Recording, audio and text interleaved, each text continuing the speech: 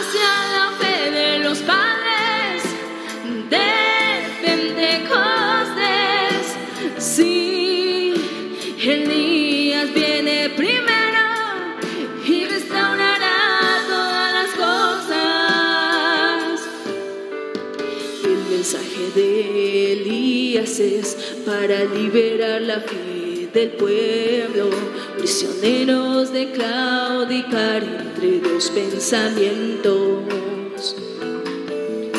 sacando de escena el nicolaísmo y balamismo, y después de la gran sequía por causa de Acab y Jezabel, traer de soy lluvia temprana, lluvia tardía.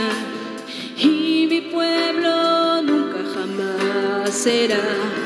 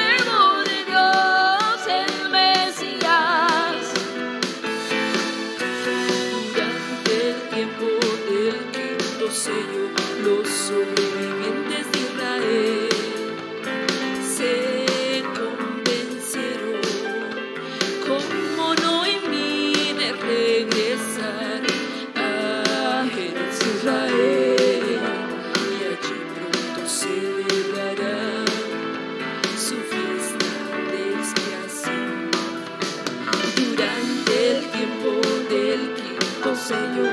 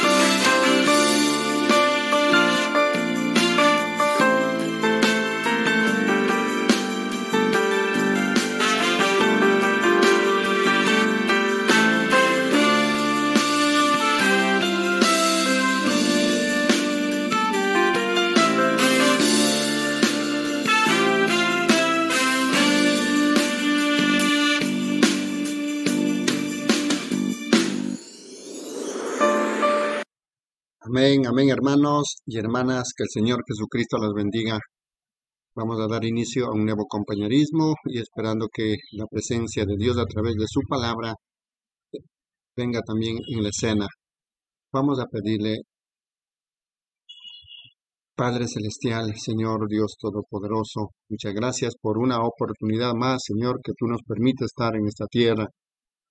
Oh Señor Dios grande, digno de ser temido, que guardas el pacto y la misericordia con los que te aman y guardan tus mandamientos. Hasta aquí hemos llegado, oh Padre amado, porque cumpliendo tus mandamientos, tú nos has abierto el séptimo sello en este último tiempo. Mensajes que estaban ocultos, sellos que estaban ocultos, trompetas, todo estaba oculto, pero tú has abierto en este último tiempo, Padre amado. Por eso que tú dijiste también en Sofonías 3.9, en aquel tiempo devolveré yo a los pueblos pureza de labios, para que todos invoquen el nombre de Jehová, para que te sirvan de común consentimiento. Oh glorioso Padre Celestial, ese es el momento, esa es la hora, ese es el tiempo para nosotros. Y tú nos enviaste, Señor, con un armamento adecuado para la gran lucha, la gran pelea, la, más grande batalla jamás peleada, Señor. Entonces no tenemos por qué temer, Señor, porque tu palabra, siendo eficaz, tu palabra siendo como la espada de doble filo, Señor, que penetra hasta el alma.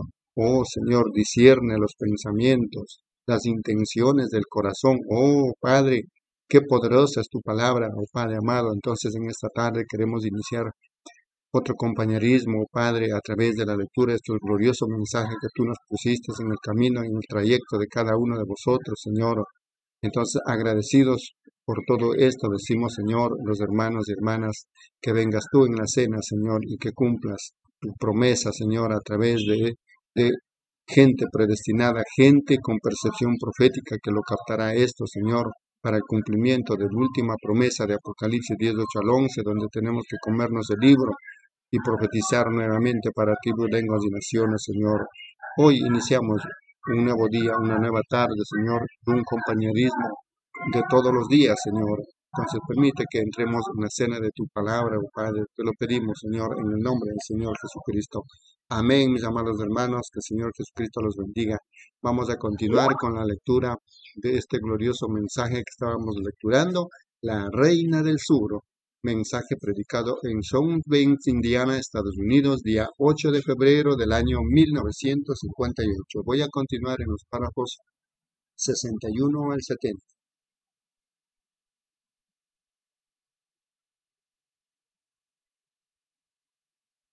Buenos, Jesús dijo, Te doy gracias, Padre, que tú lo hayas escondido de los estudiantes del seminario, sabios y entendidos, y que se lo has, hayas revelado a los niños que pueden aprender.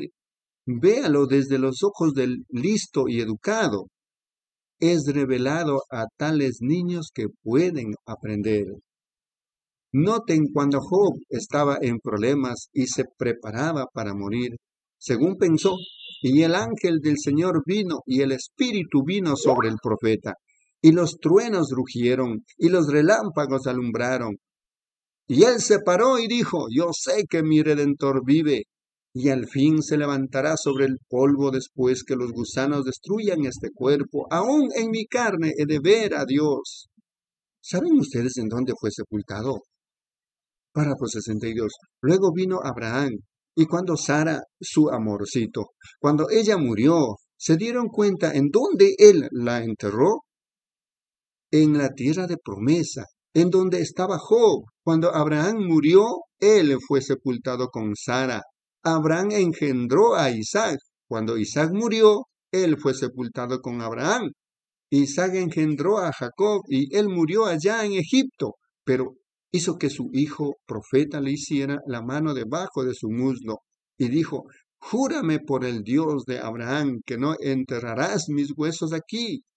¿Por qué? ¿Qué diferencia a donde él fuera de enterrado, ellos eran profetas con revelación espiritual. Párrafo 63.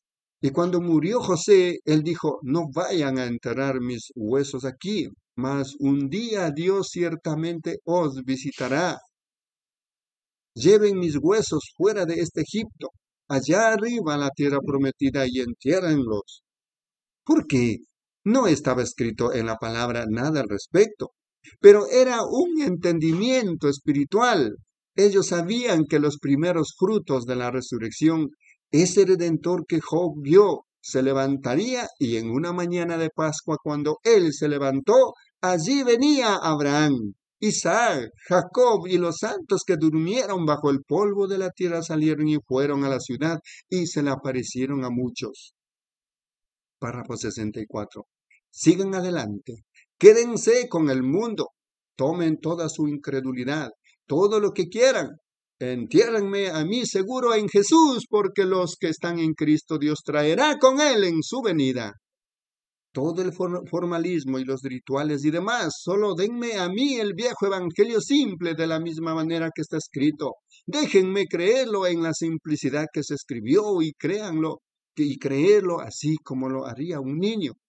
Dios hizo la promesa, Dios guarda su promesa, ciertamente que lo hará. Cada palabra Él la guarda y Él lo tiene que hacer. Párrafo 65. ¿Y cómo fue que Él se manifestó a sí mismo allí a los judíos? Era una revelación espiritual. Y Natanael lo vio, y Pedro lo vio, los apóstoles lo vieron. Ellos dijeron, ese es el Hijo de Dios. Pero ¿qué fue lo que los fariseos educados y saduceos dijeron? Ahora, no estoy tratando de apoyar mi ignorancia, pero hablando la educación es algo maravilloso, pero ha sido el impedimento más grande que el Evangelio haya tenido. Nunca ha habido cantina que impida al Evangelio como alguien que tiene más educación que sentido común para saber cómo controlarlo. Eso es cierto. Se vuelven tan educados que ustedes saben más al respecto que Dios. Solo tómenlo de la manera que está escrito y créanlo. Esa es la manera como Dios quiere que lo hagan. Párrafo 66. Luego los fariseos y saduceos dijeron, ese es un espíritu maligno. Él lo revela por Belcebú, el jefe de los adivinos.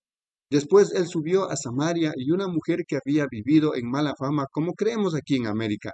Así que ella fue al pozo a sacar agua y allí estaba sentado un hombre de mediana edad.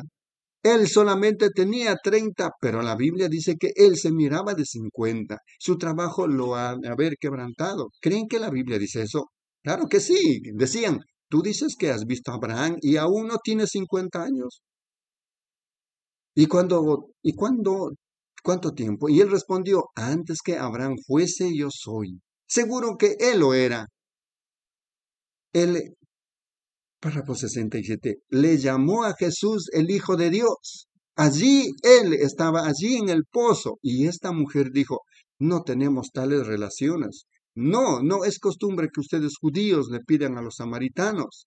Él dijo, pero si tú supieras quién es el que habla contigo, tú pedirías de mí de beber. Él estaba captando su espíritu y es por eso que, recuerden, él no se había manifestado hasta ahora más que a los judíos. Estos son los gentiles o los samaritanos, donde solo hay tres razas en la tierra, la gente de Cam, Sen y Jajel judíos, samaritanos y gentiles. La mitad de un judío y gentil hace un samaritano. Párrafo 68.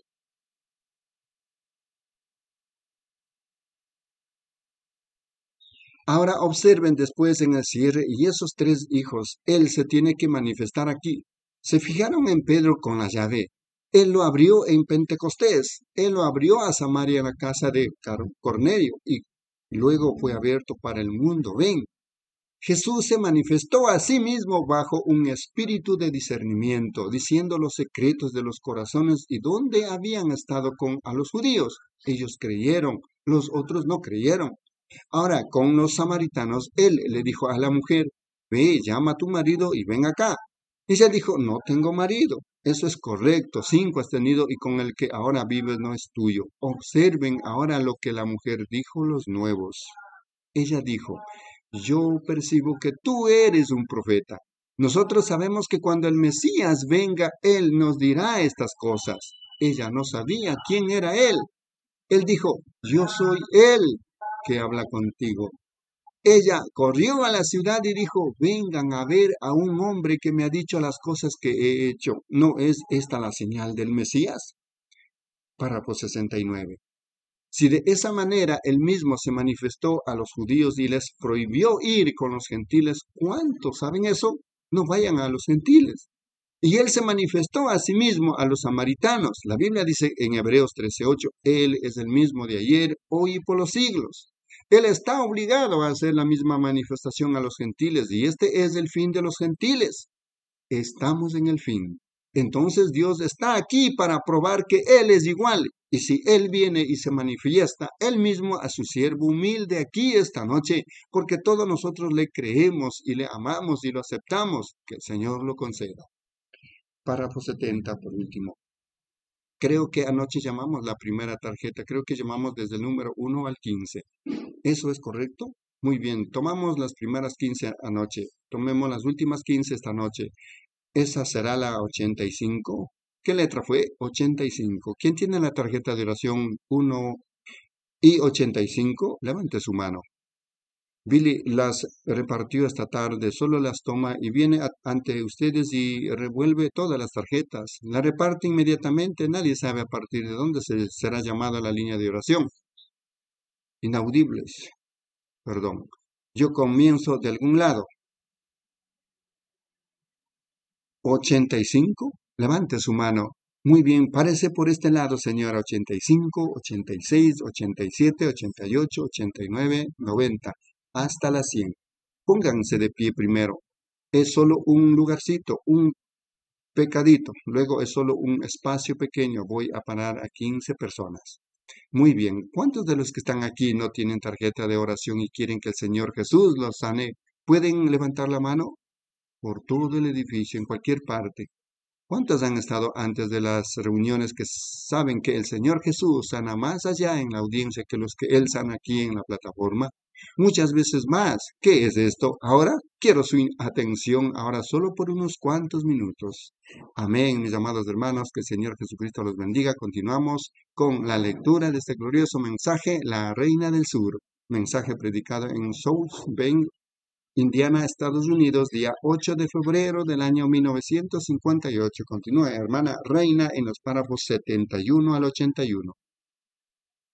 Amén. Dios les bendiga, hermanos y hermanas. Mensaje La Reina del Sur, predicado el 8 de febrero del año 1958, párrafo 71. ¿Qué es esto? ¿Para qué es? ¿Quién se beneficia? Es el beneficio de todo aquel al cual el mismo Señor Jesús se revelará ¿Cuántos saben que la Biblia dice, ningún hombre puede venir a mí si mi Padre no le trajere primero? Muy bien, si solo son reverentes allá en la audiencia, solo sean reverentes, manténganse quietos, quédense en su lugar. Entonces Dios puede revelar esta noche aquí. Y si Él no les llama de manera individual, ¿cuántos saben que si Él no lo llama, que Él quiere hacer las mismas cosas que Él hizo aquí? Veamos sus manos. ¿Cuántos creen en su fe? Si Jesús aparece esta noche. Ahora, ¿cómo puede Él aparecer? La Biblia dice que Él es el mismo. ¿Cómo es Él el mismo? Quiero preguntarles algo y creo que yo lo mencioné anoche. ¿Cómo sabe usted qué tipo de árbol está viendo? Por los frutos que produce. Jesús dijo, ¿es eso cierto? Si es un árbol de manzana, tiene manzanas. Podrá tener una corteza de sicómoro en él, pero si está produciendo manzanas, la vida que está en el interior es la vida de un árbol de manzana. ¿Es eso cierto? Y si yo les digo en esta noche que el espíritu de John Jigginberg, Jigginger está en mí, pues ustedes esperarán que me levante con mi saco y pistolas y yo sería un asesino. Sería peligroso que estuvieran a mi alrededor. ¿Qué si yo les digo que el espíritu de un artista está en mí? Yo tomaría un gran lienzo como ese, me pararía aquí con una brocha y pintaría el océano tan hermoso para usted y capturaría esas grandes gotas de las olas, porque su espíritu está en mí. 73. Si yo les digo que el espíritu de Cristo está en mí, entonces debe producir el mismo antecedente de Cristo. Y si el espíritu de Cristo está en usted, lo reconocerá. Mis ovejas oyen mi voz. Amén. Ahora, solo crean. Recuerden que dije que no hay nada que yo pueda hacer y no hay nada que otro hombre pueda hacer más que predicar el Evangelio y orar. Eso es todo. Al menos que Dios le dé una señal para obrar ante la gente. ¿Qué si Jesús estuviera aquí en esta noche con este traje que Él me dio? Usted pasaría, diría, Señor Jesús, ¿me sanarás? ¿Saben lo que Él respondería? Yo ya lo hice. ¿No puedes creer mi palabra? Lo que yo dije allá atrás. 74. Si usted estuviera en una casa de empeño y yo lo redimo con un boleto, con un boleto escrito que prueba que yo lo he redimido. ¿Cómo puede alguien más redimirlo? ¿Cómo puedo redimirlo otra vez cuando yo ya lo redimí? El diablo lo metió en la casa de empeño. Dios lo saca de allí y él ya lo hizo. Y la única cosa que usted tiene que hacer es salir. Ahora, mientras estamos formando a las personas allí, Solo ustedes con las tarjetas de oración vengan ahora porque no será correcto poner a alguien en la línea que no tenga tarjetas. 75. ¿Cuántos se acuerdan de la sanidad del congresista Uchao? Yo solo estaba parado allí hablando de esta manera cuando había miles de personas paradas allí y estaban preparando la línea y yo miré alrededor. Vi a un hombre anciano y ellos lo trajeron en una silla de ruedas. Oh, había sillas de ruedas por todos lados en aquel lugar de California. Y miré y vi a un muchachito jugando en un almear. Y él se cayó y se golpeó por la espalda sobre un armazón y debió haberle quebrado la espalda. Vi a un doctor con sus pequeños lentes en la punta de la nariz, con bigote blanco y cabello blanco, trabajando en él, pero no le servía de nada. No había esperanza. Y yo los vi perforando hoyos en la casa para que la gente al caminar no hiciera vibrar el piso. Él estaba tan mal. Y esa es la única cosa que puedo decir, lo que yo estoy viendo. 76. Y justo entonces vi que venía un gran hombre, venía un orador famoso, y la visión se fue. Y miré alrededor y no podía encontrarlo. Y ellos lo acaban de traer, creo, en avión. Y dije, allí está el hombre anciano sentado allí mismo ahora. Y su esposa está allí con él. Él tenía 86 años. Había estado en silla de ruedas por 66 años y allí estaba inclinándose. Y ustedes, bautistas, en esta noche debieran de conocerlo. Él era el vicepresidente de la Convención Bautista del Sur. Así que entonces él dijo, mi hijo, ¿cómo llegaste a saber que yo me caí sobre el armazón de una carreta? Yo dije, Señor, no lo sabía. Él dijo, tiene que venir de Dios, porque ese es el mismo tipo de doctor que me operó, quien hace años partió. Él dijo, ningún ministro en ningún lado. Dijo, y me dijeron, dijo, es el congresista Uchau. 77. Bueno, yo no, el bien, él bien pudo haber dicho alguien de la India. Yo no hubiera sabido la diferencia porque no conocía a ningún congresista. Y así que el señor Baxter dijo, ese es el congresista Willy de Uchau. Yo dije que nunca había oído de él, así que él dijo, voy a sanar mi hijo, voy a sanar mi hijo. Yo dije, Señor, yo no lo sé. La única cosa que puedo decir es lo que vi. Y yo dije, ¿tienen ya preparada la línea de oración? Y los muchachos allá dijeron, falta poquito. Y comenzaron con una mujer que subió, 78.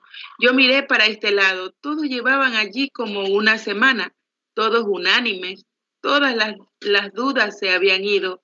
Y vi a un doctorcito con una bata de doctor puesta, con unos anteojos de carey, con el cabello peinado hacia atrás, de aspecto pequeño, delgado, cabello oscuro. Se parecía algo al hermano Baile aquí, pero traía puesto unos anteojos grandes de carey. Y él estaba mirando hacia abajo, meneando su cabeza, y yo describí al doctor. Yo dije, él acaba de operar a una pequeña niña de color de sus amígdalas y él se la sacó y paralizó a la niña. Justo entonces, muy allá, allá, por esta sección, por este lado, escuché a alguien gritar muy fuerte y aquí venía una típica tía Gemina, Gemima. Y aquí venía jalando una camilla y un hombre trataba de detenerle la camilla. Ella simplemente estaba empujando a los ujieres a diestra y siniestra. 79. Ella dijo, Diosito, misericordia, hablaba de mi bebé. Y ella dijo, ese era el, el hombre, doctor, que la operó. Y así que entonces un montón de ujieres la atrapó antes de que ella pudiera llegar a la plataforma. No estaba bien. Yo dije, mire, espere un momento, tía. Yo dije, yo no puedo sanar a su bebé. Si pudiera, yo bajaría y lo haría pero yo no puedo. Es la propia fe de usted que tendrá que hacerlo o la niña. Yo dije, pero usted está hasta allá. ¿Cómo supo el Espíritu Santo eso? Porque usted estaba allá creyendo. Ella dijo, mi bebé yace aquí, pastor, y ha estado de esta manera por dos años. Yo dije, esa es la niña. Ella dijo, venga, ore por eso. Yo dije, eso no estaría bien, tía. Hay cientos de personas aquí que tienen tarjetas de oración y esta es su primera vez en la reunión. Usted no tiene tarjeta de oración, según dijo. Yo dije, usted solo arrodíllese y ore. Tal vez el Señor sanará a su bebé. 80.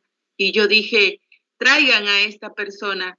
Y ellos trajeron a la señora y empecé a platicar con la señora y tal vez personas que están sentadas aquí estuvieron aquella noche. Y cuando comencé a hablar con la señora, miré de nuevo y vi una pequeña raya oscura y seguía observándola. Muy allá, a lo lejos, parecía un callejón. Esta pequeña niña negra tenía una muñeca en su brazo, meciendo a esta muñeca, caminando por allí. Oh, vaya, todos los diablos en el tormento no podían detenerlo, entonces era así dice el Señor. Yo dije, tía, el Señor Jesús ha sanado a tu bebé. Ella dijo, ¿quiere decir que mi bebé va a caminar? Yo dije, puede hacerlo ahora. La pequeñita se levantó, dijo, mira esto, mami.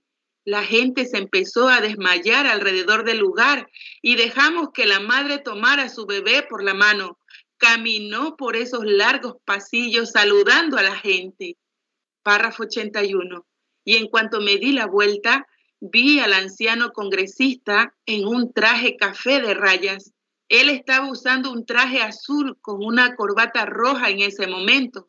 Él iba caminando sobre las cabezas de la gente él era muy hospitalario al estilo del sur, yendo entre la gente, yendo de esta manera. Yo dije, congresista, ellos corrieron rápidamente una extensión del micrófono hacia él. Y yo dije, ¿no tiene un traje café de rayas? Él dijo, mi hijo, apenas ayer compré uno. Yo dije, así dice el Señor. Pareciera como si Dios lo hubiera sanado cuando usted tenía como 17 años y con sus huesos jóvenes. Solo esperó sus 86 y entonces lo sanó. Pero yo dije, Él lo ha sanado, congresista. Él dijo, ¿me quieres decir, mi hijo, que puedo levantarme de esta silla de ruedas? Yo dije, en el nombre de Jesús, venga para acá.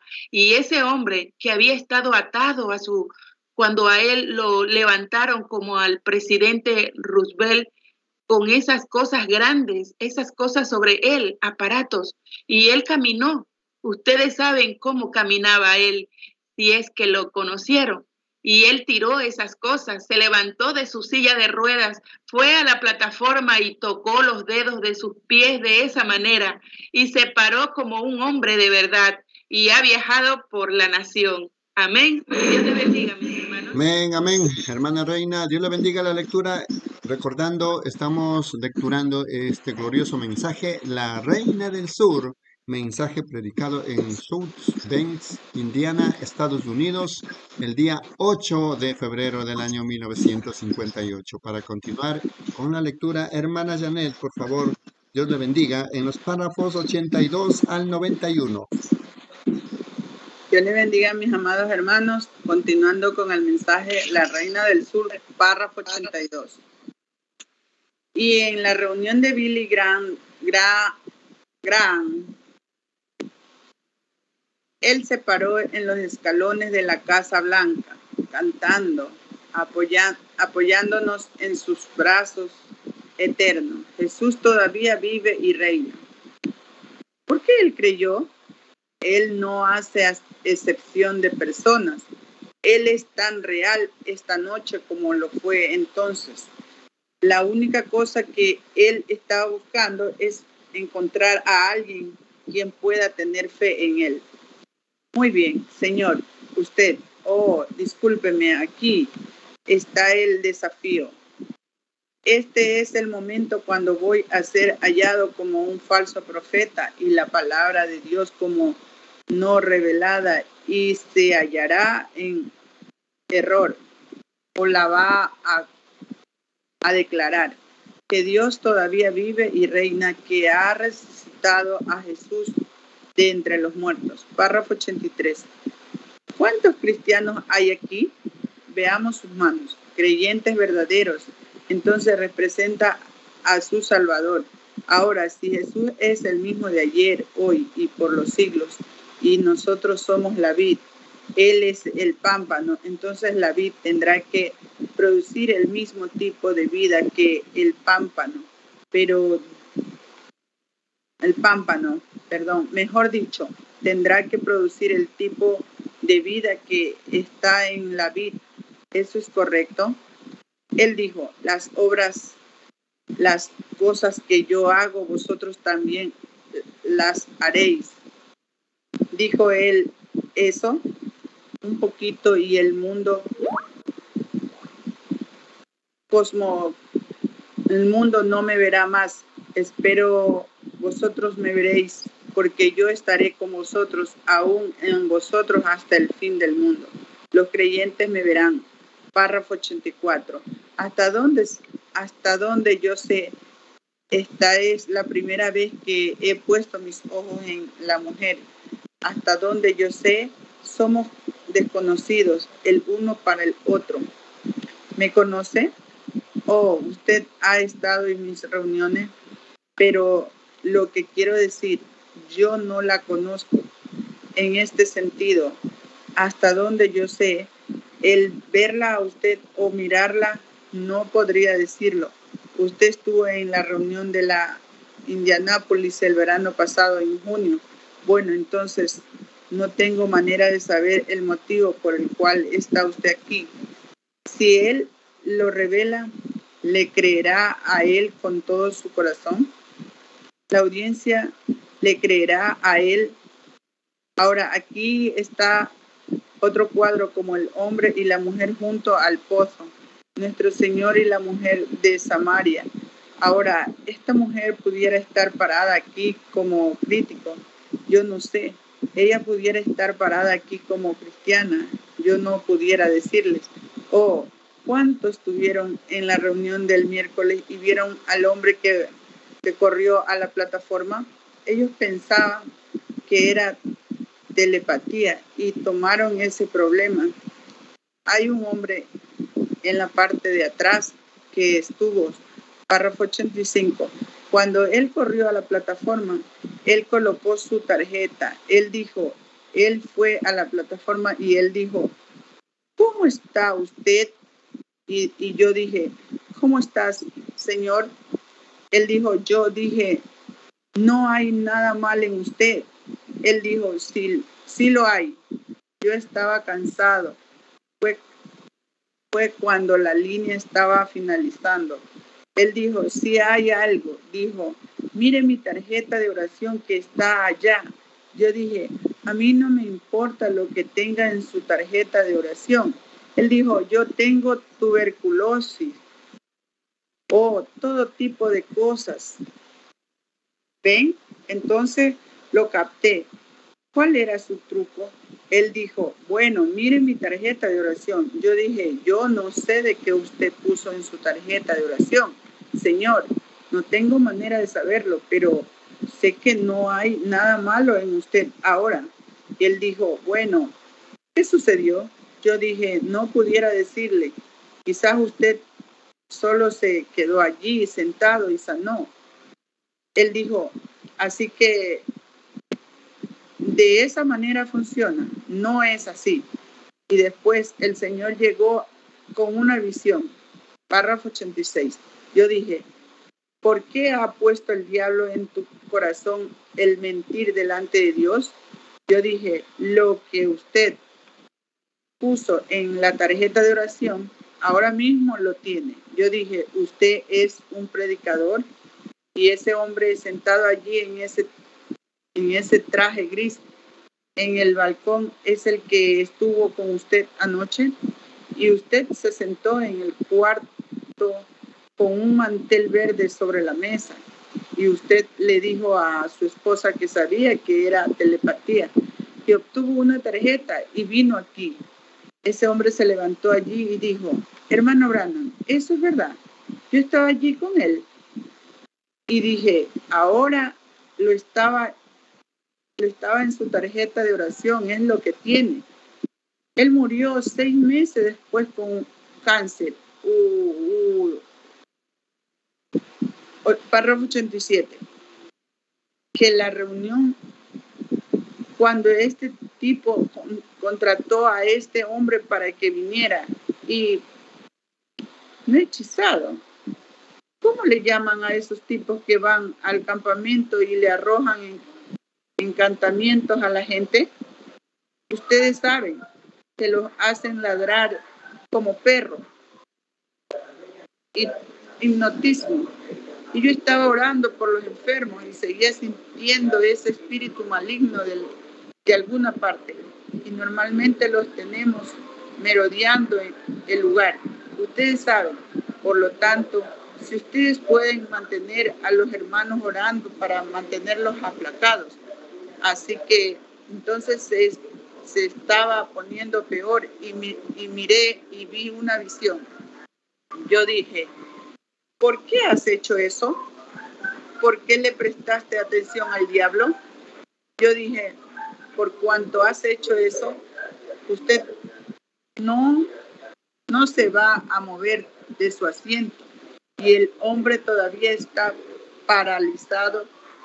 Eso es cierto, ellos lo sacaron del edificio esa noche.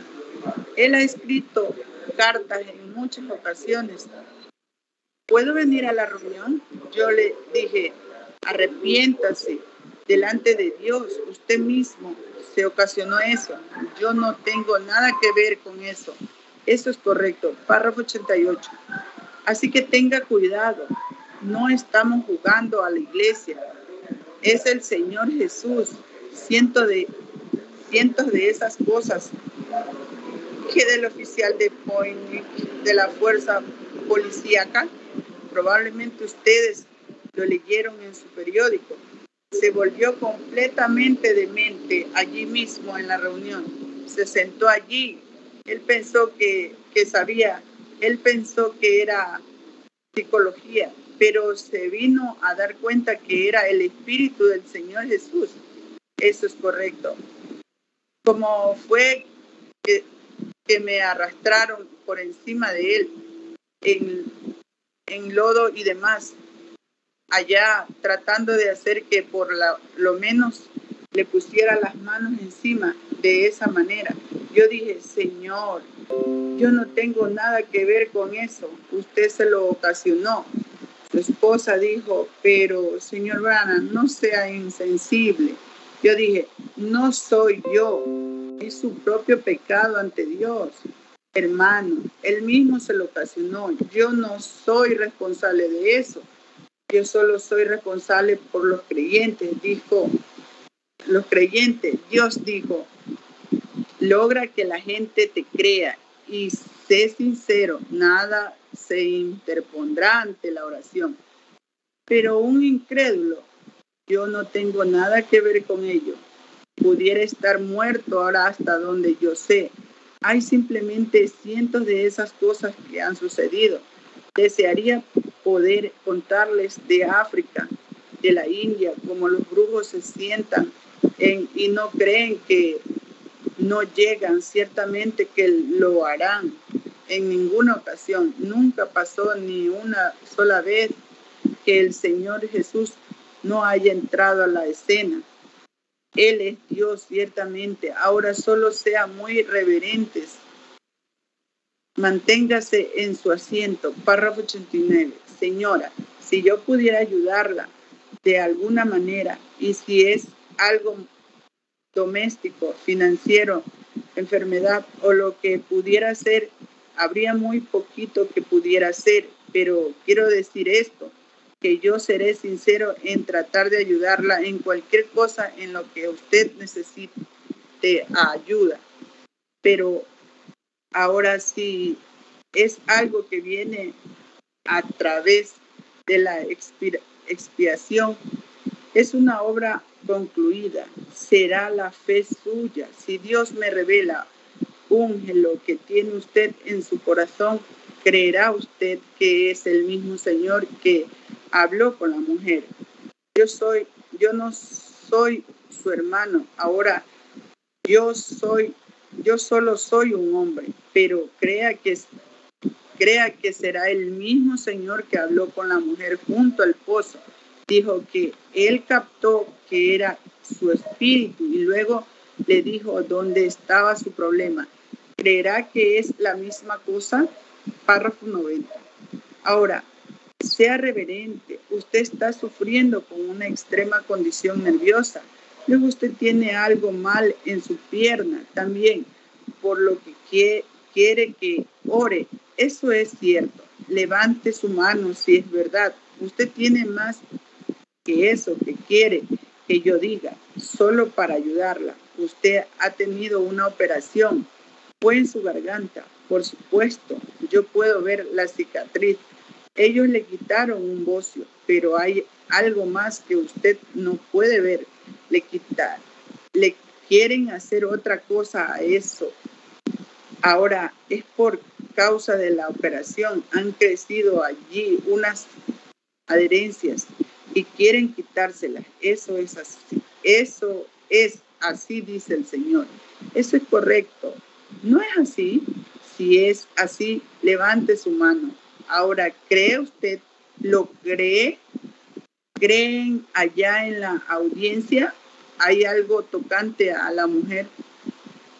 Quiero hablar con ella solo por un minuto porque tiene otra cosa mal o algo en su corazón es por alguien más.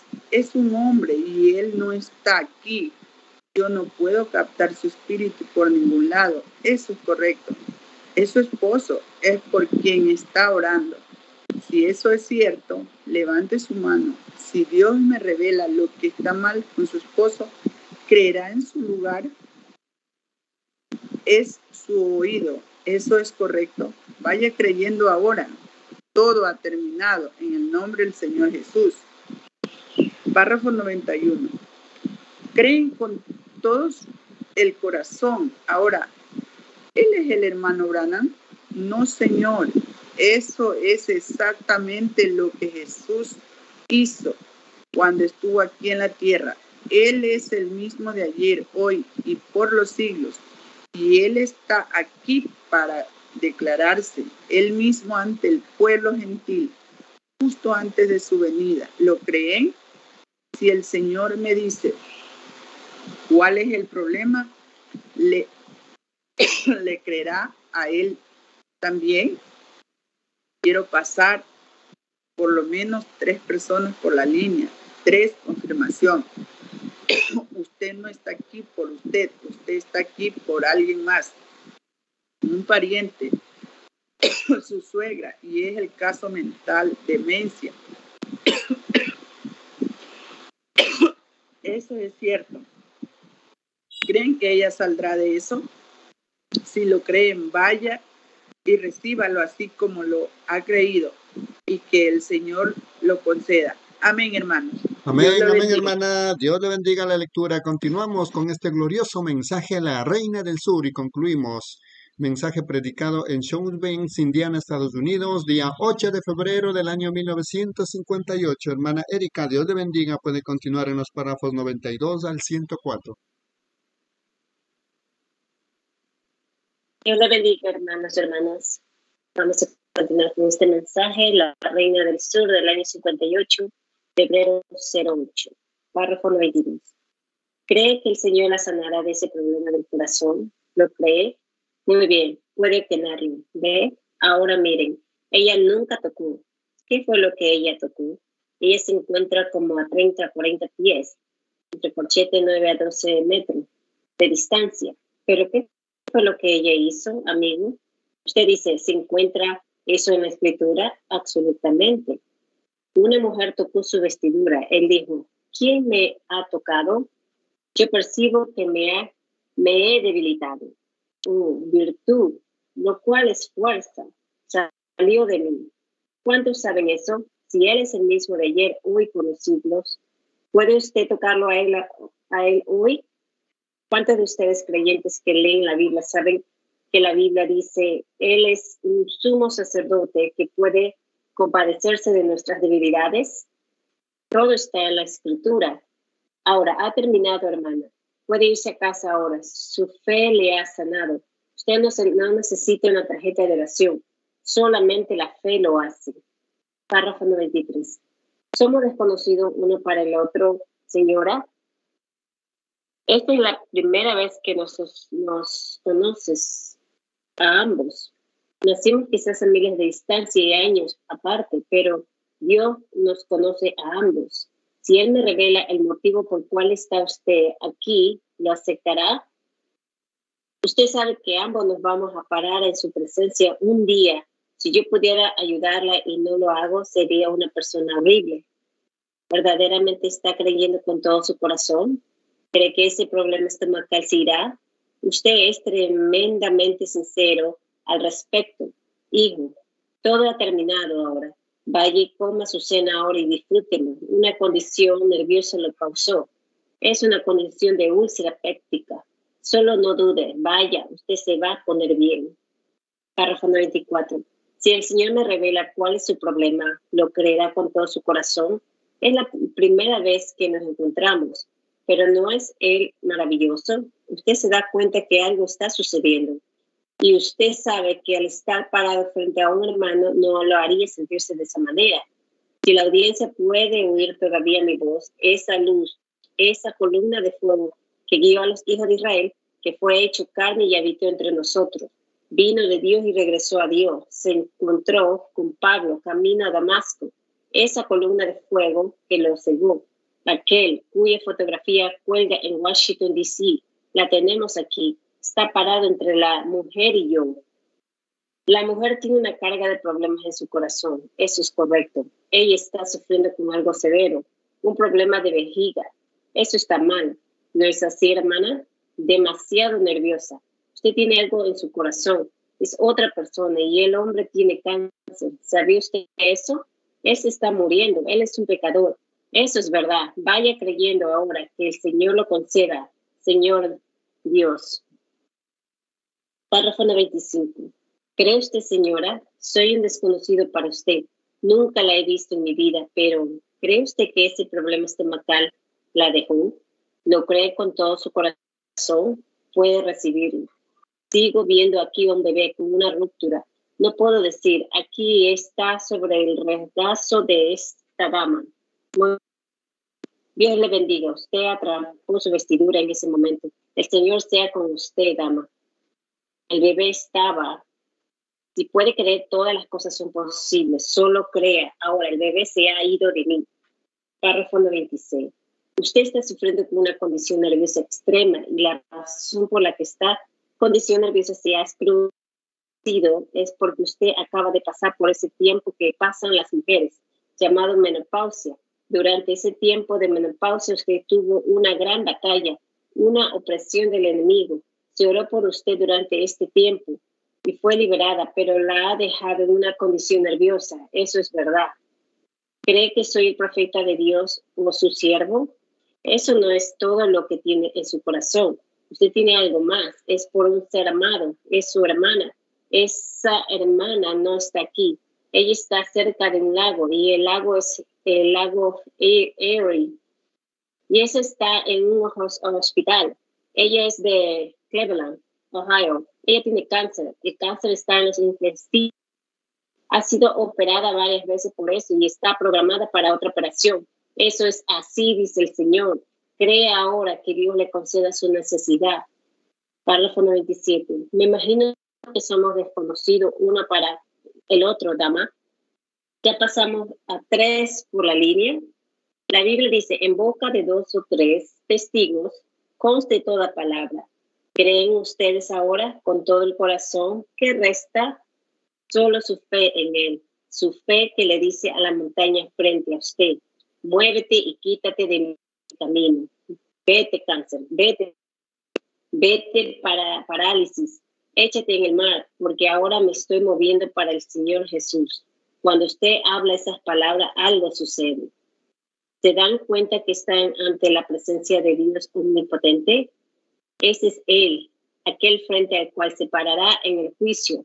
¿Acaso no dijo Él, donde estuvieran dos o tres congregados en mi nombre, allí estoy ellos? Entonces su palabra está en lo cierto. Párrafo 98.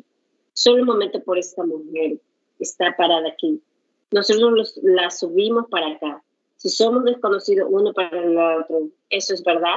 Quizás usted es la primera vez que nos encontramos. Usted estuvo aquí la otra tarde, estuvo sentado en la audiencia. Muy bien. Entonces yo no sé nada de usted. Usted es mucho más joven que yo. Nunca la he visto en vida. Pero si el Señor Jesús me revela el por qué está usted aquí, me creerá que soy su siervo, la audiencia creerá, lo concluirá de una vez para siempre.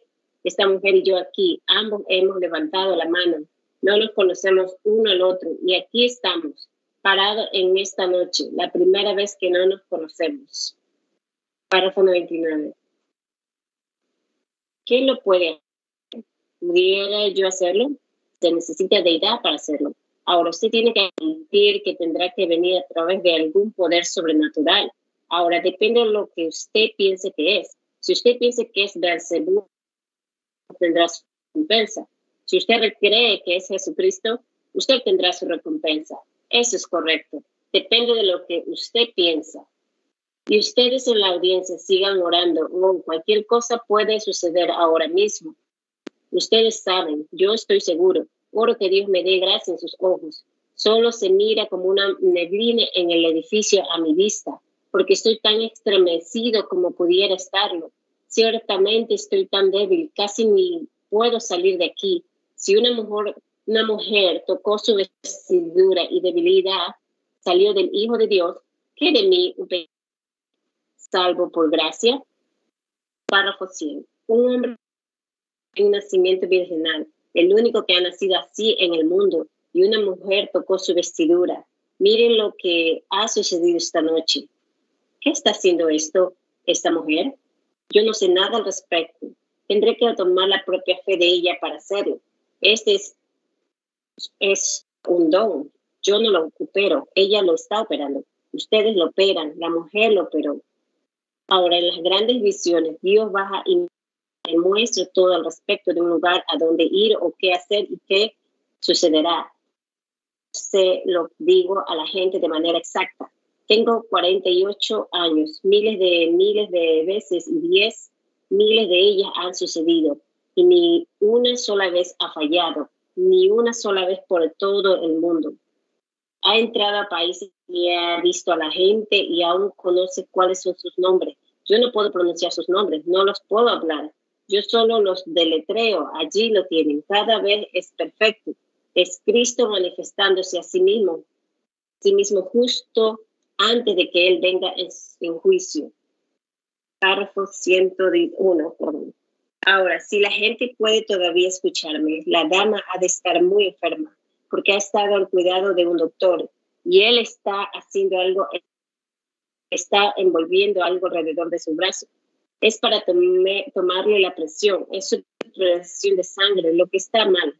Eso es cierto. Y él está con, con eh, es tan severo al punto que es una condición peligrosa. Eso es correcto. Eso es así dice el Espíritu Santo. Él está aconsejando al creo que le escuchó decir que vaya a la clínica Mayo. Eso es lo que él dijo. ¿Cree que estoy viendo esa presión? Está a 270. Su de sangre, exactamente correcto.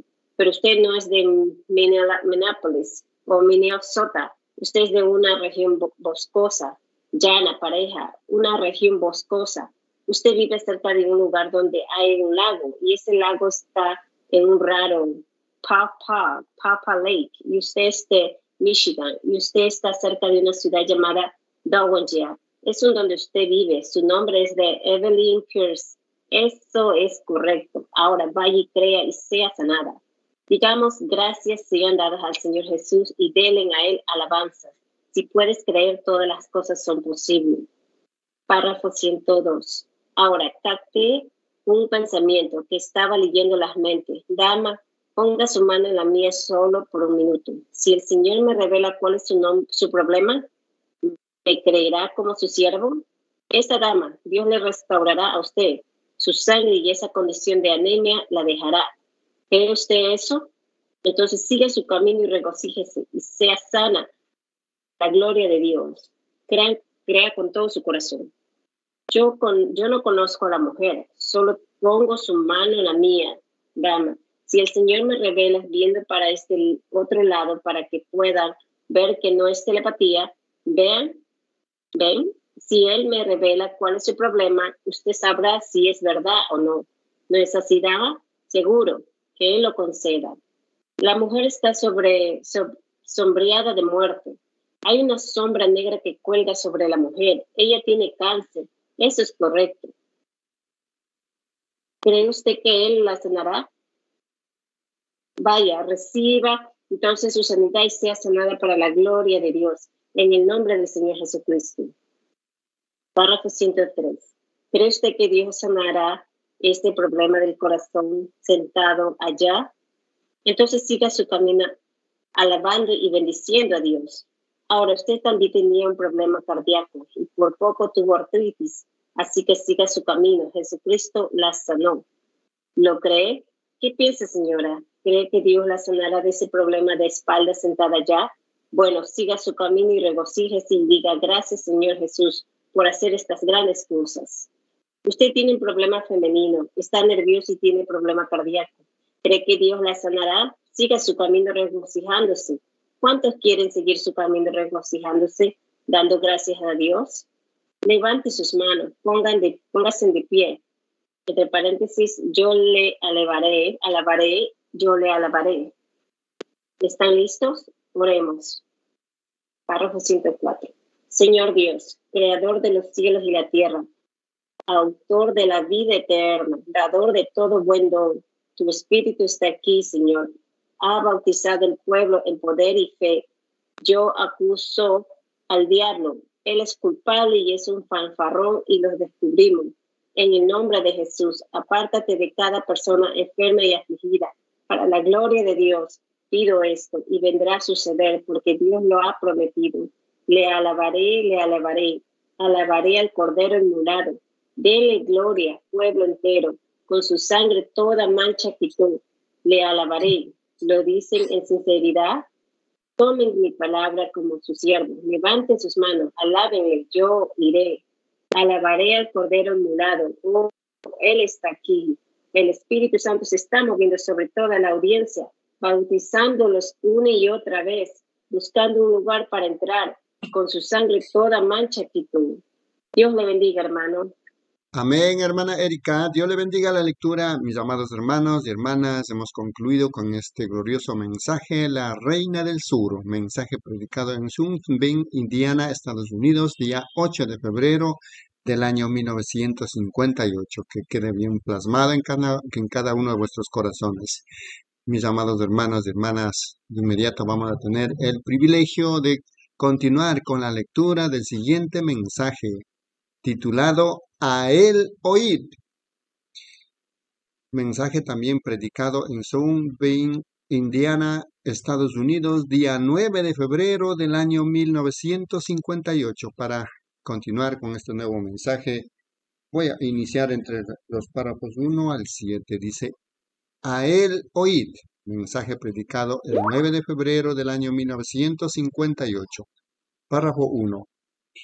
Inclinemos nuestros rostros solo un momento para orar. Padre Dios, es a tu santa presencia que llegamos ahora presentándonos como tus siervos. Nuestros corazones están abiertos. Nuestras mentes están abiertas. Estamos listos y esperando por el Espíritu Santo para que se encargue y nos dirija y nos guíe en las cosas que debemos decir y en lo que debamos hacer en este servicio que estamos iniciando.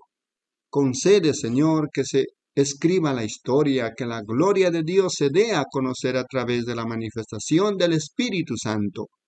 Que pecadores puedan venir y los descarriados entren de nuevo al compañerismo y que los enfermos sean sanados y que la iglesia se regocije y viva en otra esfera, Señor, más cerca de ti, porque lo pedimos en el nombre de Jesús. Amén. Pueden tomar asiento. Párrafo 2.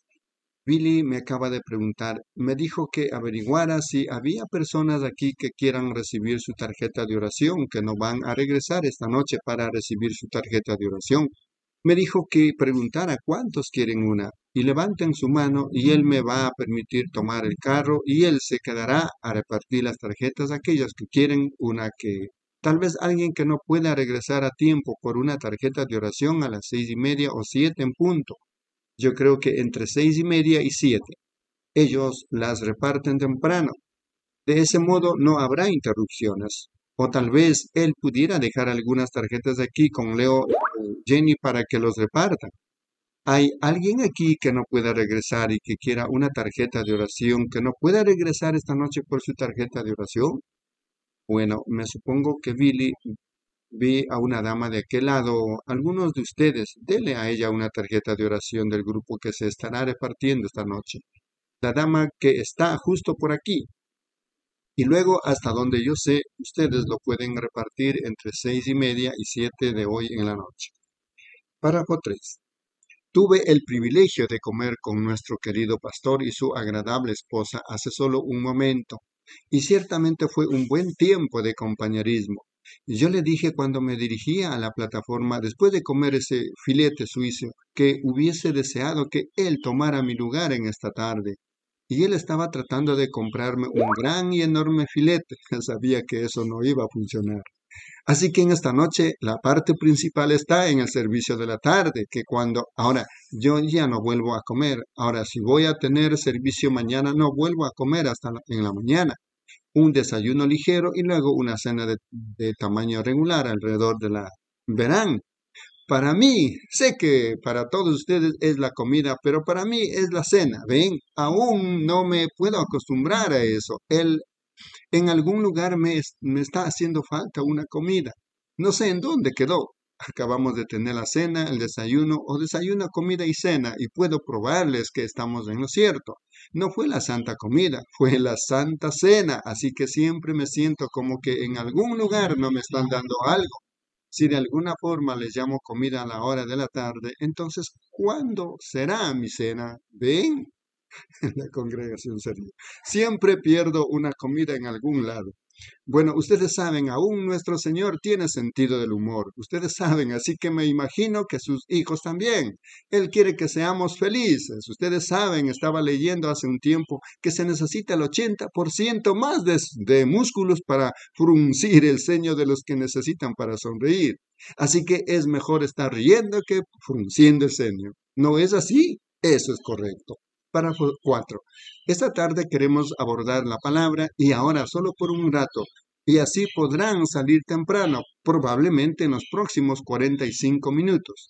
Y ahora eso será lo suficientemente largo si tan solo ponemos todo nuestro corazón en la palabra y dejamos que Cristo obre en su manera en nosotros. Luego esta noche, si no me equivoco, creo que vi a mi buen amigo, al hermano y a la hermana Collins allá atrás de Kentucky, de Louisville. Eso está muy bien. El hermano Collins, la hermana Collins son buenos amigos míos. Aquí está un ministro metodista y también su hermano. Estoy contento. ¿Qué están haciendo todos ustedes en esta región? Están muy lejos de casa. ¿No es este un bonito clima tropical? Eso es lo que me gusta. Oh, yo puedo soportar esto, pero no ese calor. Sencillamente me derrite, me gusta este. Hay algo al respecto. La nieve, una nieve seca y escucharla triturándose bajo las llantas me recuerda cuando era un muchachito y solíamos manejar la vieja carrete, carrete de cuatro ruedas. ¿Cuántos saben lo que es una caleza de cuatro ruedas sin muelle? Yo le dije a mi esposa que debí ponerme mis overoles en esta tarde, exactamente correcto. Estoy entre gente que se crió en rancho como yo. Oh, déjenme decirle, no hay mucho en esta clase de vestimenta. Ustedes saben, mi atuendo favorito es un par de overoles. Amo eso, fui criado en ellos. Párrafo 5. Recuerdo cuando solíamos ir a nadar de niños. Yo no usaba camisa desde más o menos mayo hasta después de septiembre y solía ser, no teníamos lo que llamábamos tiradores. Ustedes aquí les llaman tirantes, me imagino, en el norte. Y yo tenía un mecate. ¿Cuántos saben lo que es un mecate? Un mecate. Todavía hay unas personas aquí del campo y yo no tenía un botón, tenía un clavo de, por botón. ¿Alguna vez hicieron eso? Hermano Gu, ¿qué pasó con su mano? No vi lo que levantaron y corríamos al arroyo, ustedes saben, y queríamos jugar a hacer señalamientos. El primero que entraba, ustedes saben, averiguaba cómo estaba el agua. Si el agua estaba helada, levantábamos un dedo y si el agua estaba bien y tibia, levantábamos dos dedos. Ven, así que un segundito.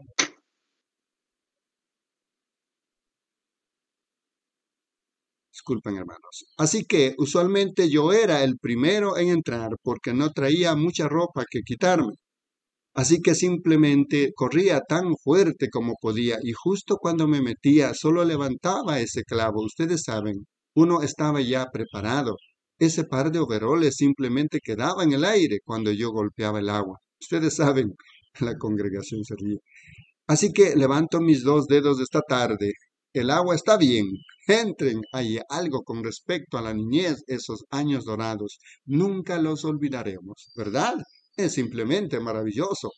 Párrafo 6. Ahora vayan en sus Biblias si desean leer a esta escritura que es muy conocida que se encuentra en el Evangelio de San Mateo, el capítulo 17 de San Mateo. Deseo leer una porción de allí. Estén orando ahora y esta noche recuerden, vengan temprano, siéntense en un buen lugar, traigan a todos sus enfermos y afligidos y que la gente enferma se siente aquí enfrente los más que puedan y traigan, tráiganlos para acá para que muchas veces allá atrás alguien se atraviesa, es difícil y uno le habla a alguien que está muy atrás algunas veces, por supuesto, le habla en cualquier parte, pero cuando se está muy atrás, que está atravesando hasta allá y uno le habla a la persona, si ellos no responden, entonces pareciera como que la luz se va de ellos. Y luego yo no sé qué sucedió. Ven, si ustedes responden inmediatamente tan pronto como se los llame, pues respondan, ven, Respondan rápidamente a ello y entonces funciona mucho mejor. Amén. La lectura de la palabra. Seis días después Jesús tomó a Pedro, a Jacobo y a Juan su hermano y los llevó aparte a un monte alto y se transfiguró delante de ellos y resplandeció su rostro como el sol y sus vestidos se hicieron blancos como la luz. Y he aquí les aparecieron Moisés y Elías hablando con él. Entonces Pedro dijo a Jesús, Señor, bueno es que bueno es para nosotros que estemos aquí. Si quieres, hagamos aquí tres tabernáculos, una para ti, otro para Moisés y otro para Elías. Mientras él aún hablaba, una nube de luz los cubrió, y he aquí una voz desde la nube que decía, Este es mi Hijo amado, en quien tengo complacencia, a él oíd. Deseo tomar estas últimas tres palabras como texto para encontrar un pequeño contexto a él oír. Amén, mis amados hermanos. Que el Señor Jesucristo los bendiga en la lectura. Continuamos, hermana Reina, en los párrafos 8 al 14 de este glorioso mensaje a él oír. Amén, hermanos y hermanas. Mensaje a él oír predicado el 9 a de febrero del año 1958. Párrafo 8. Y él seguía mirando por sobre su hombro, y mientras observaba, estaba un arco iris que había salido y armaba un círculo por el horizonte. Y el viejo pescador, a medida que observaba ese arco iris, empezó a llorar y lágrimas bajaban de sus ojos hasta su barba gris. Y este niñito, sentado allá atrás del bote, seguía mirándolo. Él se emocionó tanto que corrió al centro del bote y cayó en el regazo del viejo pescador y le dijo, Señor, le voy a hacer una pregunta que mi mamá no pudo contestar mi maestra de escuela dominical no pudo contestar y tampoco mi pastor pudo contestar. Él dijo, ¿puede un hombre ver a Dios? Pues él sacó los remos y se los colocó en su regazo. Tomó al pequeñito en sus brazos. Él dijo, Dios bendiga tu corazoncito. Él dijo, todo lo que yo he visto durante los últimos 40 años ha sido Dios. Si hay un Dios en el interior, usted verá a Dios allá afuera. Él se reflejará a sí mismo. No importa qué lugar sea. 9. Yo soy un gran amante de la naturaleza. El cazar, como me gusta cazar, y miro a Dios en las montañas. Mi primera Biblia es el observar y ver a una pequeña flor, cómo se levanta tan bonita. Unas veces es joven y otras veces es de mediana edad y a veces es vieja, pero cuando la helada la golpea, pero es la muerte cuando la helada la golpea. Inclina su cabecita y se le caen los pétalos. De ahí arroja unas pequeñas semillas negras ¿Y sabían ustedes que se lleva a cabo una procesión fúnebre para la flor? ¿Sabían ustedes eso? Seguro. Bueno, a medida que los vientos de octubre llegan y las lluvias de otoño empiezan a, llorar lágrimas desde el cielo y entierran esa pequeña semilla bajo la tierra. Después, enseguida, llega el mal tiempo, así como está ahora y congela los pequeños pétalos que se le han caído a la flor. El pequeño bulbo se seca y se congela. El tallo se ha ido, las hojas se han ido, los pétalos se han ido, la flor se ha ido. La semilla se empieza a hinchar y se rompe. La pulpa se ha acabado. No queda nada más de la florecita. Uno no la puede encontrar. Usted pudiera tomar la tierra y llevarla al laboratorio y examinarla. No hay nada allí que pueda encontrar, pero solo deje que ese sol tibio de primavera comience a brillar en esa tierra solo un poquito. Traerá otra flor porque hay un germen de vida allí adentro que ninguna ciencia puede encontrar. Y si Dios proveyó una manera para que la flor volviera a vivir, ¿cuánto más Él ha provisto una manera para, para el hombre quien es a su propia imagen? Cuando el sol de justicia se levante, aquellos que duermen en el polvo de la tierra se levantarán de nuevo. Dios está en todas partes. Yo amo verle a Él, observarlo en la puesta del sol, observarlo en la naturaleza. 10. Esto está en mi corazón, así que solo quiero decirlo. Hace unos cuantos años, allá arriba, en el Colorado, donde cazo mucho, cazo alces, y estaba ya muy arriba en las alturas ese año, porque la nieve no había llegado para hacer bajar la manada de alces. Me encontraba a 35 millas 56 kilómetros del ser humano, según me daba cuenta, muy arriba en la montaña. No tanto para matar la caza, pero simplemente para estar a solas con Dios. Estas reuniones lo agotan a uno y ese discernimiento y las visiones llega a un punto donde uno siente como si se estuviera volviendo demente. ¿Y sabían ustedes que la mayoría de los poetas, y profetas y demás eran considerados locos? ¿Sabían eso? ¿Cuántos alguna vez han escuchado el canto famoso de William Cooper? Hay una fuente llena de sangre que fluye de las venas de Emanuel. ¿Sabían que William Cooper se supone que estaba loco? ¿Sabían que después que la inspiración lo dejó de esa canción, él trató de encontrar un río para cometer suicidio.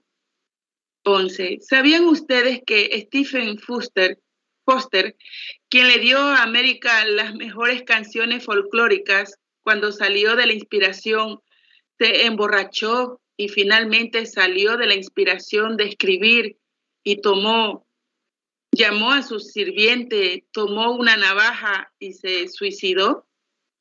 ¿Cuántos han pensado alguna vez en Jonás después de dar su profecía y esa gran ciudad del tamaño de Luis Louis se arrepintió y después subió una colina y oró a Dios para que le quitara la vida después que la inspiración lo había dejado? ¿Sabían que Elías llamó fuego del cielo y lluvia del cielo en el mismo día y mató a 400 sacerdotes él, él mismo y les cortó la cabeza. Y corrió después de que la inspiración lo había dejado ante la amenaza de la reina Jezabel y estuvo en el desierto 40 días y noches sin saber dónde estaba y Dios lo encontró escondido en una cueva. Luego usted se pregunta, ¿por qué lo pone a uno débil? ¿Ven? ¿Ven? Inspiración. 12. Y arriba en estas montañas, caminando alrededor, y cuando empieza a nevar, hace que la manada de alces descienda. Por lo tanto, mi amigo el ranchero estaba quizás a muchas millas de distancia en otra división. Y yo estaba cazando el alce en la ladera occidental. Y un día cuando llegó la tormenta y la lluvia, llovía por un rato y luego nevaba por un rato y después paraba y se despejaba por un rato a comienzos del otoño. Vino una tormenta y yo estaba parado detrás de un árbol cerca de un lugar donde el viento había soplado. Y la tormenta había pasado. Y cuando la tormenta se detuvo, empecé a notar que el viento comenzó a soplar todas las siempre vivas se congelaron y los grandes témpanos colgaban donde se había puesto frío y el sol se estaba ocultando en el oeste. Y me fijé como un gran ojo mágico, como el de Dios, siendo el centro de la vista, los cielos azules, el azul de su ojo, y él se asomaba por las grietas de esas rocas hacia el oeste y formó un arco iris que atravesaba todo el valle. Y oh, nunca lo olvidaré. En esa tormenta de alces se había dispersado. Y podía escuchar el bramido del alce llamándose uno al otro. Allá lejos, de, detrás de la montaña, un viejo lobo gris comenzaba a aullar. Abajo en el valle, su pareja le contestaba. Párrafo 13. Mi madre es mitad india. Mi conversión nunca me sacó eso de mí. Hay algo al respecto, como David dijo, cuando un abismo llama a otro abismo. Hay algo en eso que me emociona atravesando mi alma. Salí de detrás del árbol. Yo dije, oh Dios, tú estás en todas partes. Allí estás en el arco iris. Puedo darme cuenta que tú estás allá en la manada de alces. Puedo escucharte en el aullido del viejo lobo gris. Tú simplemente estás en todas partes, Señor, aquí en lo más alto de estas montañas. Y ustedes saben, yo soy un bautista que cree en gritar. Coloqué mi rifle recargado en el árbol y me fui dando vueltas y vueltas alrededor del árbol, gritando a voz en cuello. Me imagino que si alguien hubiese llegado al lugar, hubiera pensado que tenían a un demente allí afuera.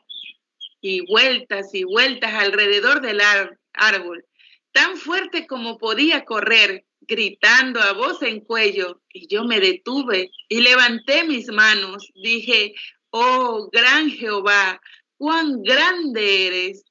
Qué lugar tan maravilloso en el cual estar alejado de todos, simplemente solo aquí para verte a ti. Párrafo 14. Y la pequeña ardillita de pino es una cosita alborotadora, así de larga. Saltó sobre un tocón al otro lado de donde yo estaba y comportándose de esa manera que no había escuchado antes, solo cháchara, cháchara, cháchara, cháchara, cháchara. Yo pensé, ¿por qué está la pequeñita tan alborotada? De seguro no me tiene miedo a mí, pero tal vez yo la alboroté porque estaba corriendo y dando vueltas alrededor del árbol. Yo dije, no hay necesidad de que te alborotes. Yo solo estaba adorando a nuestro Creador y moví su, movió su cabecita para un lado y volteó hacia abajo. Y, y no se estaba fijando en mí, sino que había una gran águila que se había visto forzada a bajar durante la tormenta. Se encontraba bajo ese lugar donde el viento había soplado, donde los árboles se apilaron unos contra otros cuando se cayeron. El viento la había volado. Había pasado un viento tremendo. Esta gran águila brincó hacia la rama de un árbol que había caído Oh, esa pequeña ardillita simplemente comenzó entonces a comportarse terriblemente. Así que yo pensé, ahora, Señor, ¿por qué cambiaste la escena? Yo estaba teniendo un tiempo tan maravilloso. ¿Qué tiene de piadosa esa águila que haría que ella solo es carroñera? Amén. Dios le bendiga, mis hermanos. Amén, amén, hermana reina. Dios le bendiga la lectura. Mil disculpas, mis amados hermanos. El párrafo 7 no fue leído. Voy a lecturar rápidamente. Dice, párrafo 7, y ustedes saben, es glorioso estar a solas y observar a Dios en la naturaleza. Mi primera Biblia fue la naturaleza. Si pueden ver alrededor, encontrarán a Dios en cualquier parte que lo busquen. Yo vivo en el río Ajayo, Hace años escuché una pequeña historia de un niñito que vivía en un lugar un poco más arriba de nosotros. Él iba a la escuela y a la escuela dominical y un día quiso saber quién era Dios y le dijo a su mami, mami, ¿me puedes decir quién es Dios? ¿Puedo verlo a él? Y su mami dijo, bueno, yo le preguntaría a mi maestra de escuela dominical. Y entonces él le preguntó a su maestra de escuela dominical y ella dijo, bueno, yo no sé.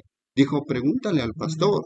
Y se fue con el pastor y el pastor dijo, claro que no, hijo, nadie puede ver a Dios. Dijo, Dios es espíritu, por lo tanto nadie puede verlo.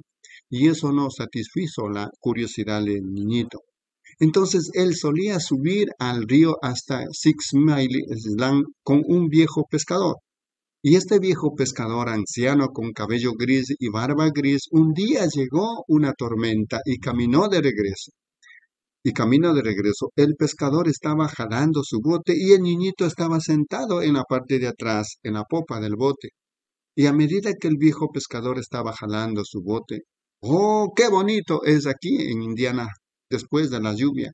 Y las hojas son todas arrastradas y ese verdadero olor es o fresca solo con una pequeña ondulación con el agua, lo suficiente para hacer que los remos eh, enganchen a medida que los utiliza. Cualquier que jala un barco conoce ese ritmo del bote. Amén, mis amados hermanos. Ese es el que no fue leído en el párrafo 7. Bueno, continuamos con la lectura.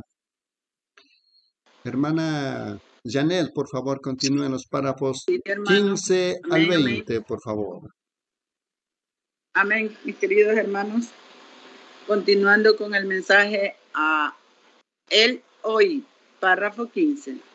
Pero me comencé, me comencé a fijar en ella. Parecía ser tan valiente, no tenía miedo.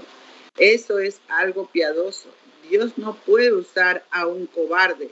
Los cobardes mueren, diez mil muertes, mientras un héroe nunca muere. Eso es cierto. Dios no quiere a un cobarde, alguien con miedo de tomarlo a Él en, su palabra. Él quiere a alguien que, que tomará su palabra y se quedará allí parado sobre eso.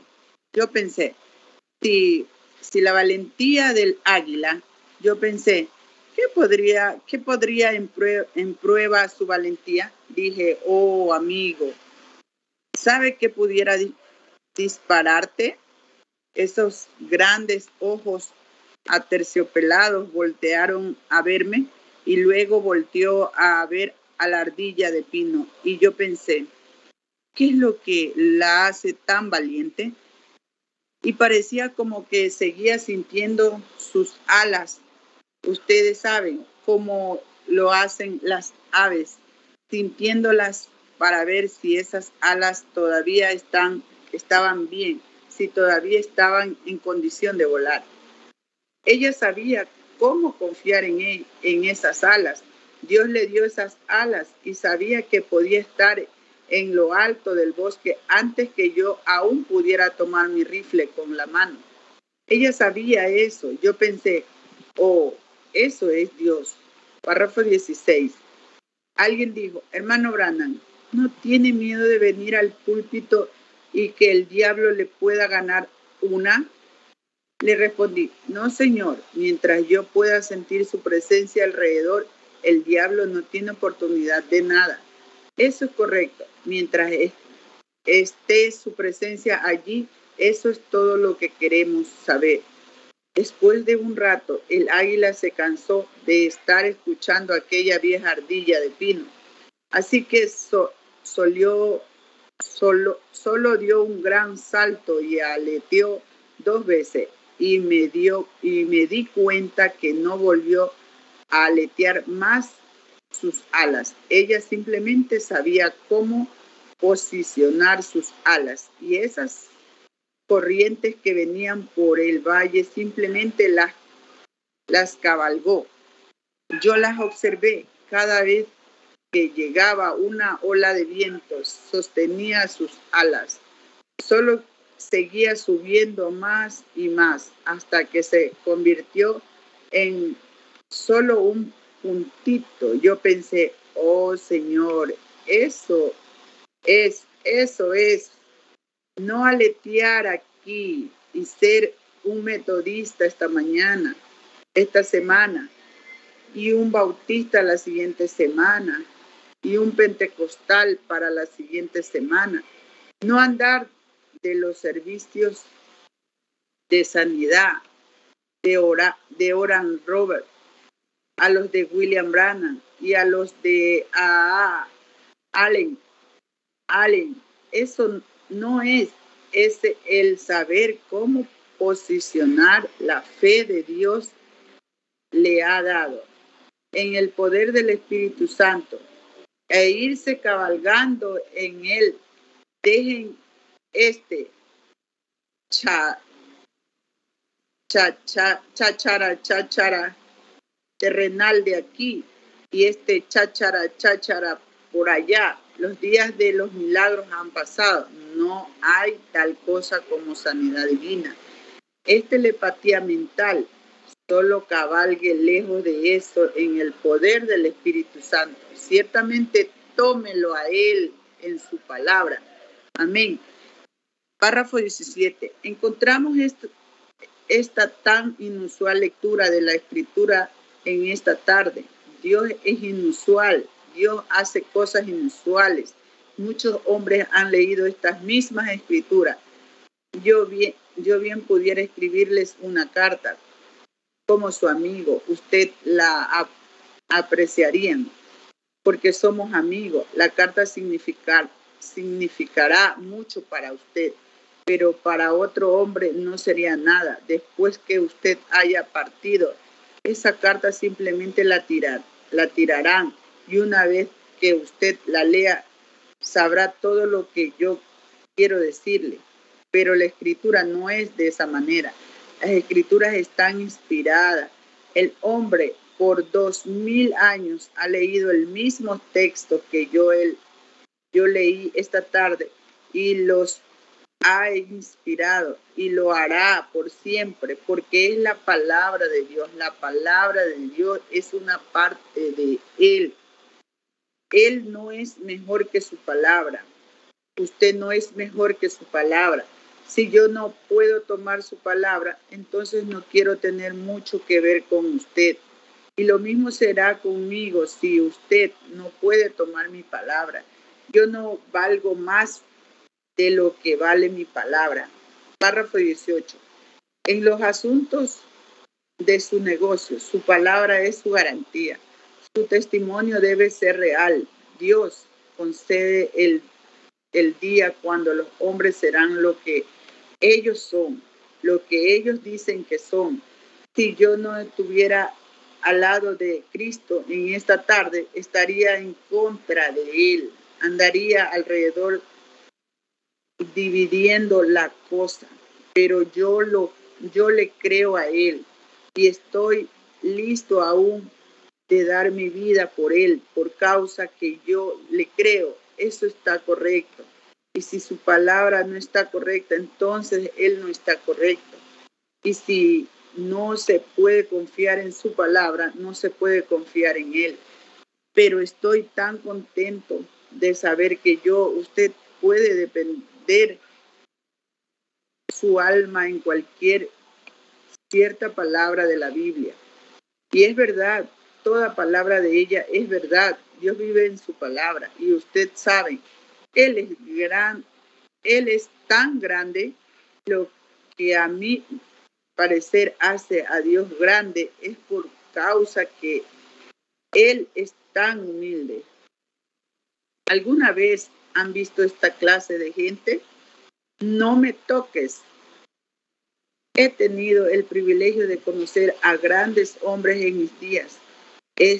En palacios de reyes, pero cuando usted en verdad encuentra a un hombre que es hombre grande, él lo hace sentir que uno es el hombre grande, pero él, pero es el hombre que solo piensa que él es un gran hombre que quiere aparentar mucho. Eso es correcto. Es solo un hombre que es un manufacturado. A mí me gusta eso. Párrafo 19. Dios se encuentra en concilios de hombres. Una vez él se encontró con 500 en una ocasión con 70 con 12 y con 3. Él aún se ha encontrado donde hay uno solo. Eso es lo que lo hace a él, Dios. Él está tan interesado que se encontrara con cualquier individuo, él, en cualquier parte, con aquella persona que le llame a él, dentro del vientre de una ballena, por Jonás, arriba en una montaña, por Eliseo abajo en un foso de leones con Daniel, Él es Dios. Y aquí lo encontramos a Él ahora, tomando a estos tres hombres, Pedro, Jacobo y Juan. Y Él fue arriba a la montaña. Pedro después se refirió a la montaña como el monte santo, pero Pedro no quiso decir esto, que el monte era santo, era un Dios santo en el monte que lo hizo santo. No es la gracia, la santa iglesia, es el Espíritu Santo en la iglesia que la hace santa. No es el hombre santo, es el Espíritu Santo en el hombre que lo hace. No un hombre santo, no hay tal cosa es un Espíritu Santo y Pedro se estaba refiriendo a esto como el Monte Santo, porque un Dios Santo se encontró con ellos en este, este monte. Era una arena sagrada y permítame detenerme aquí en esta tarde y decir esto. Cada uno de ustedes que ha nacido de nuevo por el Espíritu Santo, Ustedes se acuerdan de la hora exacta donde el Espíritu Santo, el lugar mismo donde Él se encontró con ustedes. Y cuando vienen las dudas y el temor se levanta, hay siempre un cierto lugar al cual ustedes pueden volver a ese tiempo cuando usted se encontró con Dios. Y el diablo no puede amenazar, amenazarles en esa arena sagrada en esas arenas sagradas. Es donde usted se encontró con Dios y usted habló con Él.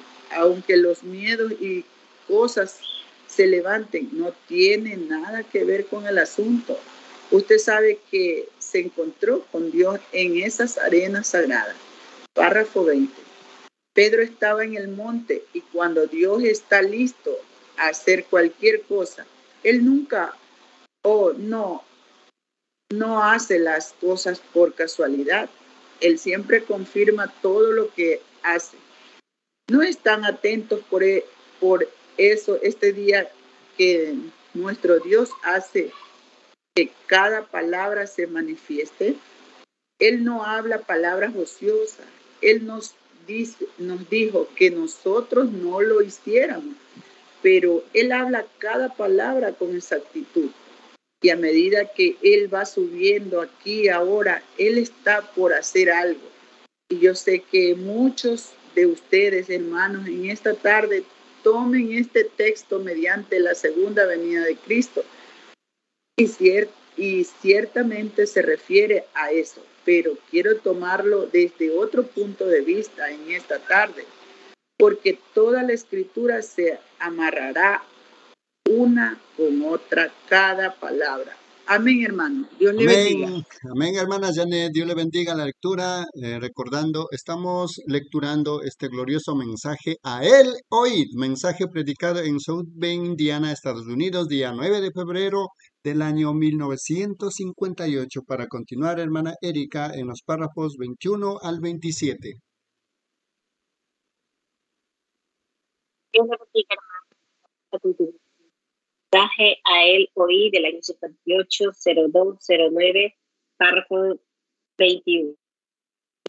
Y ahora note, en esto, cuando él nos subió, él tomó a Pedro, Jacobo y a Juan.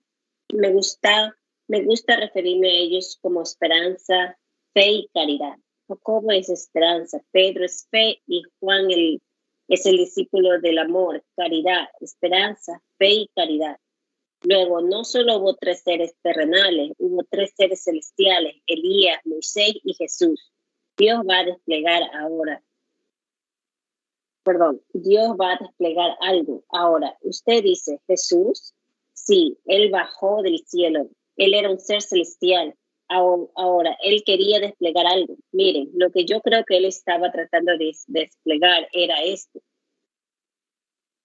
Y tomamos un pequeño viejo y tenemos un pequeño viaje en nuestras mentes, en la, en la escritura y pensemos en los días del pasado. Y pienso tal vez que no sería de ayuda en esta tarde ver esto.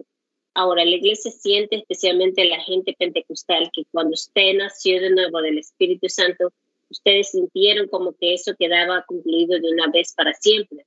Y es allí donde ustedes han cometido un error. Ustedes apenas estaban comenzando. La gente piensa, bueno, gloria a Dios, yo recibí el bautismo del Espíritu Santo. Eso lo concluye. Eso me, me sella en el reino. Soy un hijo o hija de Dios. Eso es verdad. Pero eso todavía no tiene nada que ver con su herencia. Párrafo 22. En el Antiguo Testamento, cuando un hijo nacía en la familia, era una. Yo creo que la versión de King James, en su traducción, allí a los principios de King James, leemos ahí donde dice, en Juan 14 dice, en la casa de mi padre muchas mansiones hay.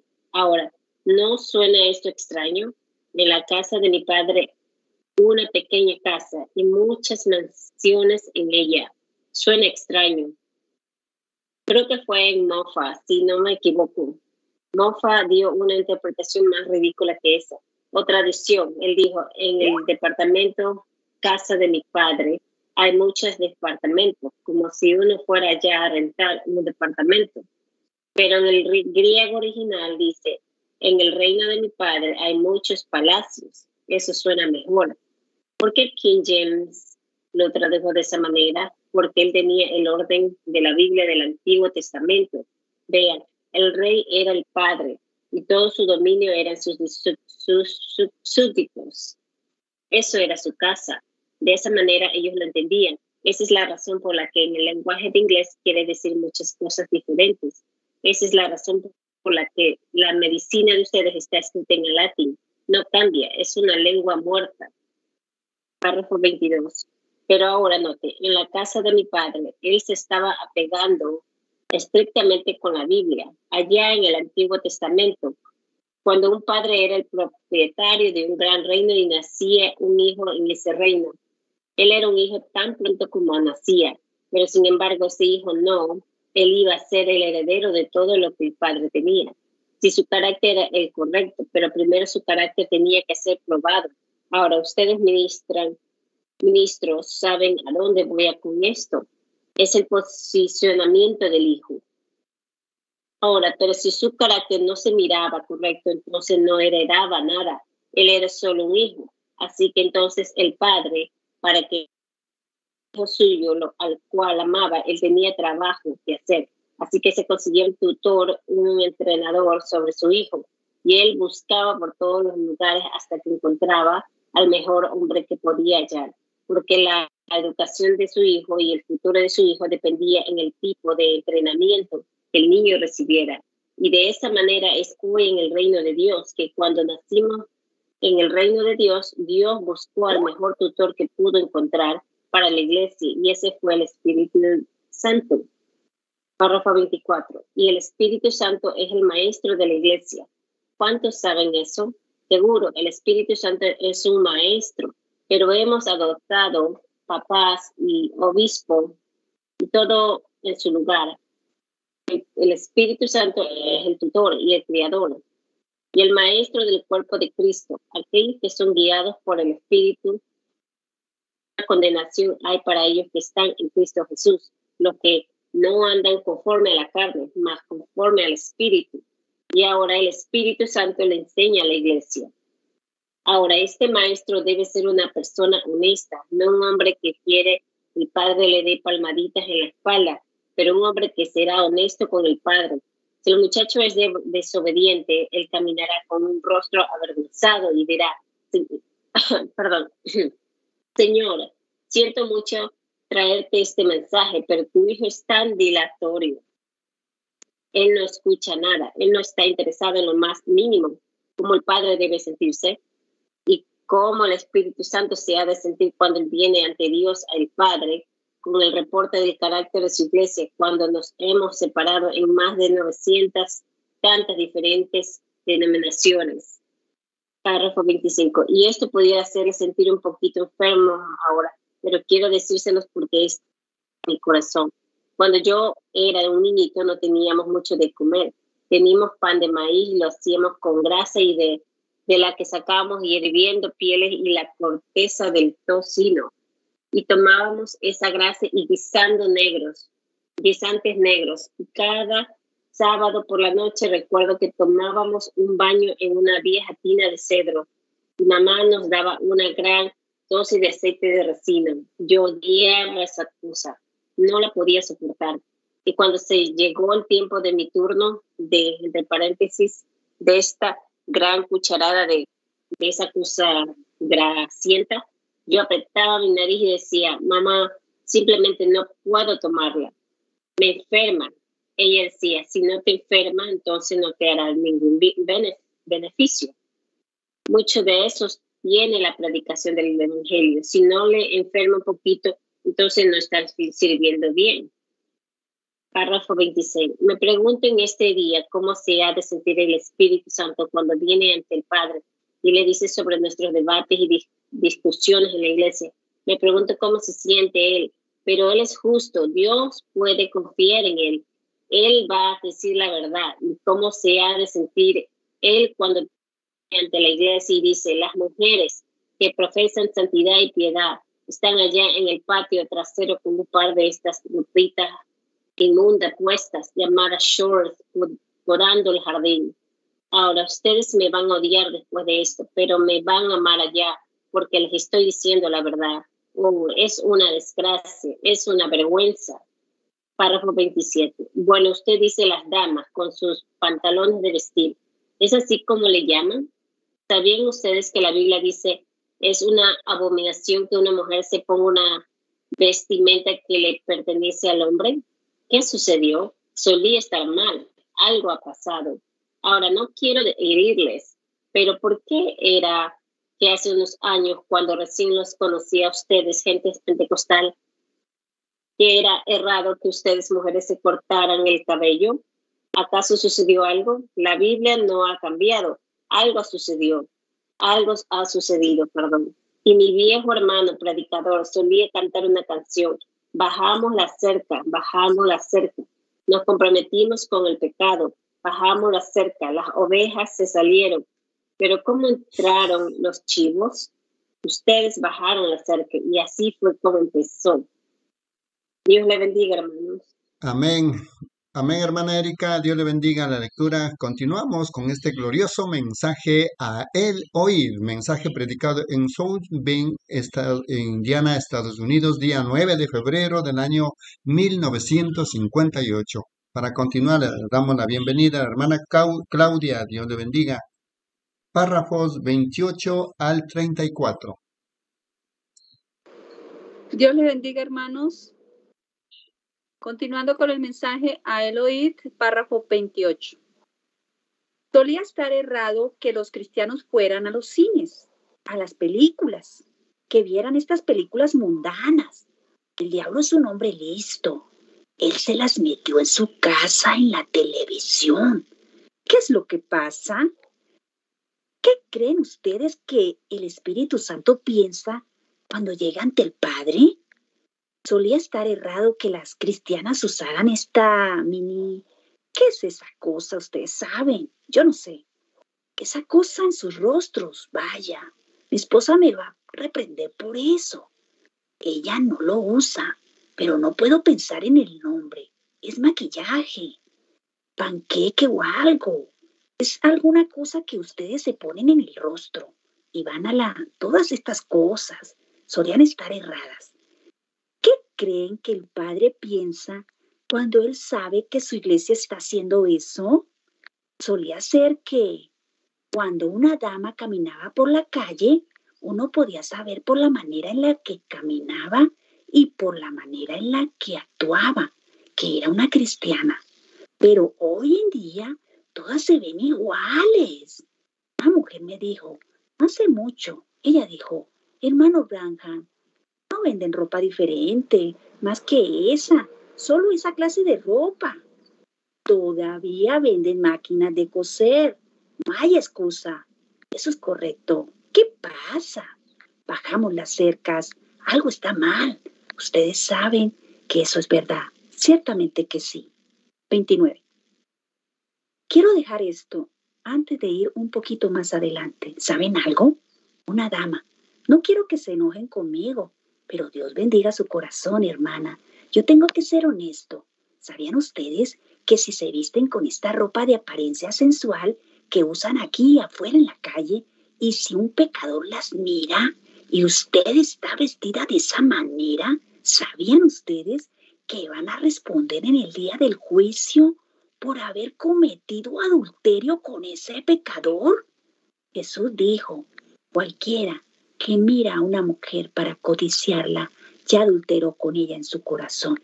Y si usted se viste de esa manera, usted es culpable, que se presentó usted misma ante él de esa manera. Escudriñen las escrituras y vean si eso es verdad. Es verdad. Bueno, usted pudiera ser tan pura como un lirio. Eso es cierto. Pero mientras se presente usted misma con algo de esta cosa moderna. 30. La razón por la que sucedió es porque el amor de Dios se fue de la iglesia y ustedes se quedan en la casa los miércoles por la noche para ver alguno de estos dramas como el de quien ama Susi o amamos a Susi o lo que fuere, esa cosa loca y muestra a dónde está viajando la mente. Eso es correcto. Y ustedes ven estas cosas locas como Arthur Godfrey. ¿Cómo se les ocurrió llamar a eso americanismo? No sabría decirlo. Y Elvis Presley, con su todo sacudido rock and roll. La razón por lo que ustedes lo hacen es porque algo está allí adentro dándoles el deseo de eso. Si el Espíritu Santo tuviera el corazón lleno, no tuvieran más el deseo de eso. La Biblia dice, el que ama al mundo y las cosas del mundo, el amor del Padre ni siquiera está en él. 31.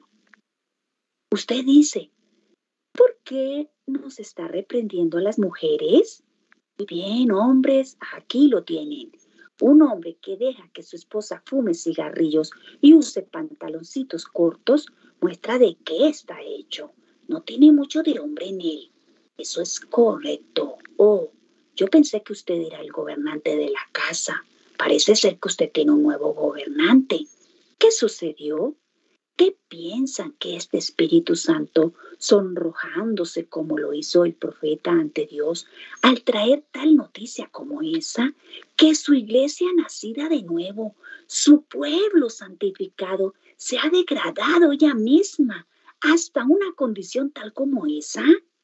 Luego se preguntan por qué América no tiene un avivamiento. allí está la verdad. Dios tenga misericordia de su pueblo.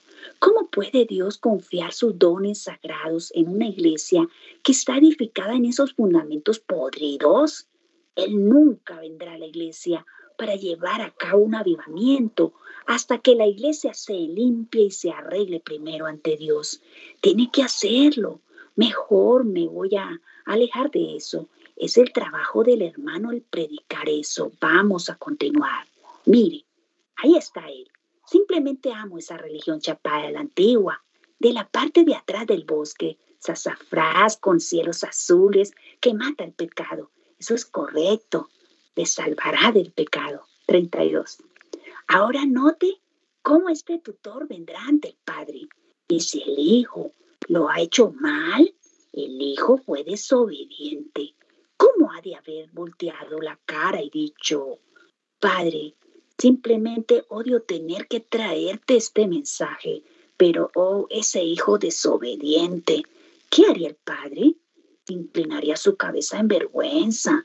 Ahora, cambiemos de pensamiento. ¿Qué si este tutor viene ante el Padre y dice, oh, Señor, tu hijo es igual a ti? Pues usted sabe, él actúa igual como lo hace usted. Él ama las cosas que usted enseña. Él maneja el rancho así como usted lo maneja. O, en una expresión callejera, es astilla del mismo palo. Él es igual a ti. Tú eres un Dios santo. Él crees en ser santo. Tú eres un gran todopoderoso Dios. Él dice, amén. A eso. Tú eres un gran Dios para obrar milagros. Él cree cada palabra de eso y practica lo mismo. Oh, ¿cómo debe sentirse complacido el Padre? Sí, ese es mi hijo, seguro. ¿Saben qué pasaba después? Cuando ese hijo llega a cierta edad, ese muchacho, si él había sido un mal muchacho, y no era exactamente alguien en quien el padre pudiera confiar. Entonces, él no recibía nada de la herencia. Ustedes, hermanos, conocen eso de la escritura, pero si él era un hijo obediente y cuando llegaba a una cierta edad, el mismo hijo era llevado a un lugar público, ante el público, y era puesto en un lugar alto. Y allí el padre le ponía una vestidura y adoptaba a su propio hijo en su familia. 33. Y en este posicionamiento de este hijo, el nombre del hijo era tan bueno en el cheque como lo era el de su padre, porque él había sido probado, él era obediente y su nombre era bueno, igual como el de su padre. Eso es lo que Jesús quiso decir cuando dijo, pedid al Padre cualquier cosa en mi nombre, yo lo haré. Noten, luego Dios nunca le ha pedido a alguien que haga alguna cosa sin que Él lo haya hecho primero. Él pronunció muerte sobre la raza humana. Él fue hecho carne y tomó la muerte en lugar nuestro. Para finalizar el párrafo 34, a Eloí. 34. Ahora, él iba a adoptar a su propio hijo en su familia. Él lo llevó allá arriba al monte de la transfiguración, un lugar alto ante el público. Él se trajo a tres testigos de la tierra y tres es confirmación, sabemos eso. Él tenía tres testigos de la tierra y tres testigos del cielo. Y allá él vistió a Cristo e hizo sombra sobre él, y su vestidura resplandeció como el sol a la mitad del día. Esa vestidura que él le colocó mostraba que él lo había aceptado. Él andaba en los negocios del Padre. Él hacía solo lo que el Padre le mostraba. Dios estaba con él. Pedro dijo en Pentecostés, Jesús de Nazaret, un hombre aprobado por Dios entre nosotros por señales y maravillas que él hizo. Jesús dijo, yo no hago nada hasta que el Padre me muestra primero qué hacer. Obediente. Oh, ¿no sería maravilloso si la iglesia estuviera en esa condición hoy? Obediente al Padre, reverente en el Espíritu Santo, en esos momentos de aprieto, cuando usted tiene miedo a hablar. Es como un caballero. Usted se para donde debe pararse.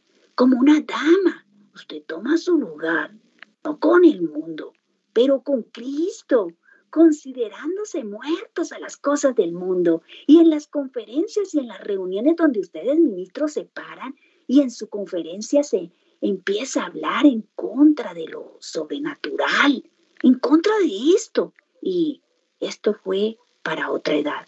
Tomen su postura, Dios lo honrará. Oh, cómo mi pensamiento viaja al día cuando David danzó alrededor del arca y su esposa se rió de él. Pero Dios dijo, Él es un hombre conforme a mi propio corazón, seguro. Usted no puede pararse con el hombre y con Dios también. Si usted es siervo del hombre, puede ser siervo de Dios. Si usted es siervo de Dios, no será un siervo del hombre. Allí, parados, Dios le hizo sombra y lo vistió a él con inmortalidad.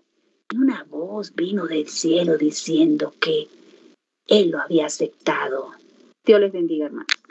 Amén, amén, hermana Claudia. Dios le bendiga la lectura. Glorioso tiempo, glorioso mensaje que vivimos. Continuamos con la lectura a él oíd, mensaje predicado en South Bend, Indiana, Estados Unidos, día 9 de febrero del año 1958. Para continuar, hermana Rosalia en los párrafos. Dios le bendiga, hermana. 35 al 41.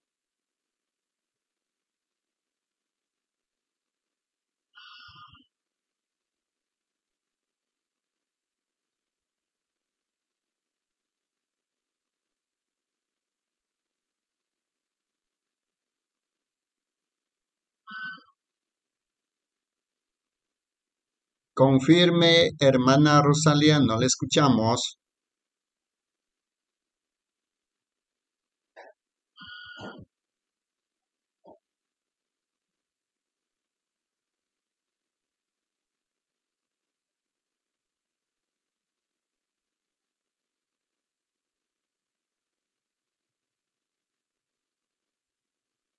No, no hay comunicación.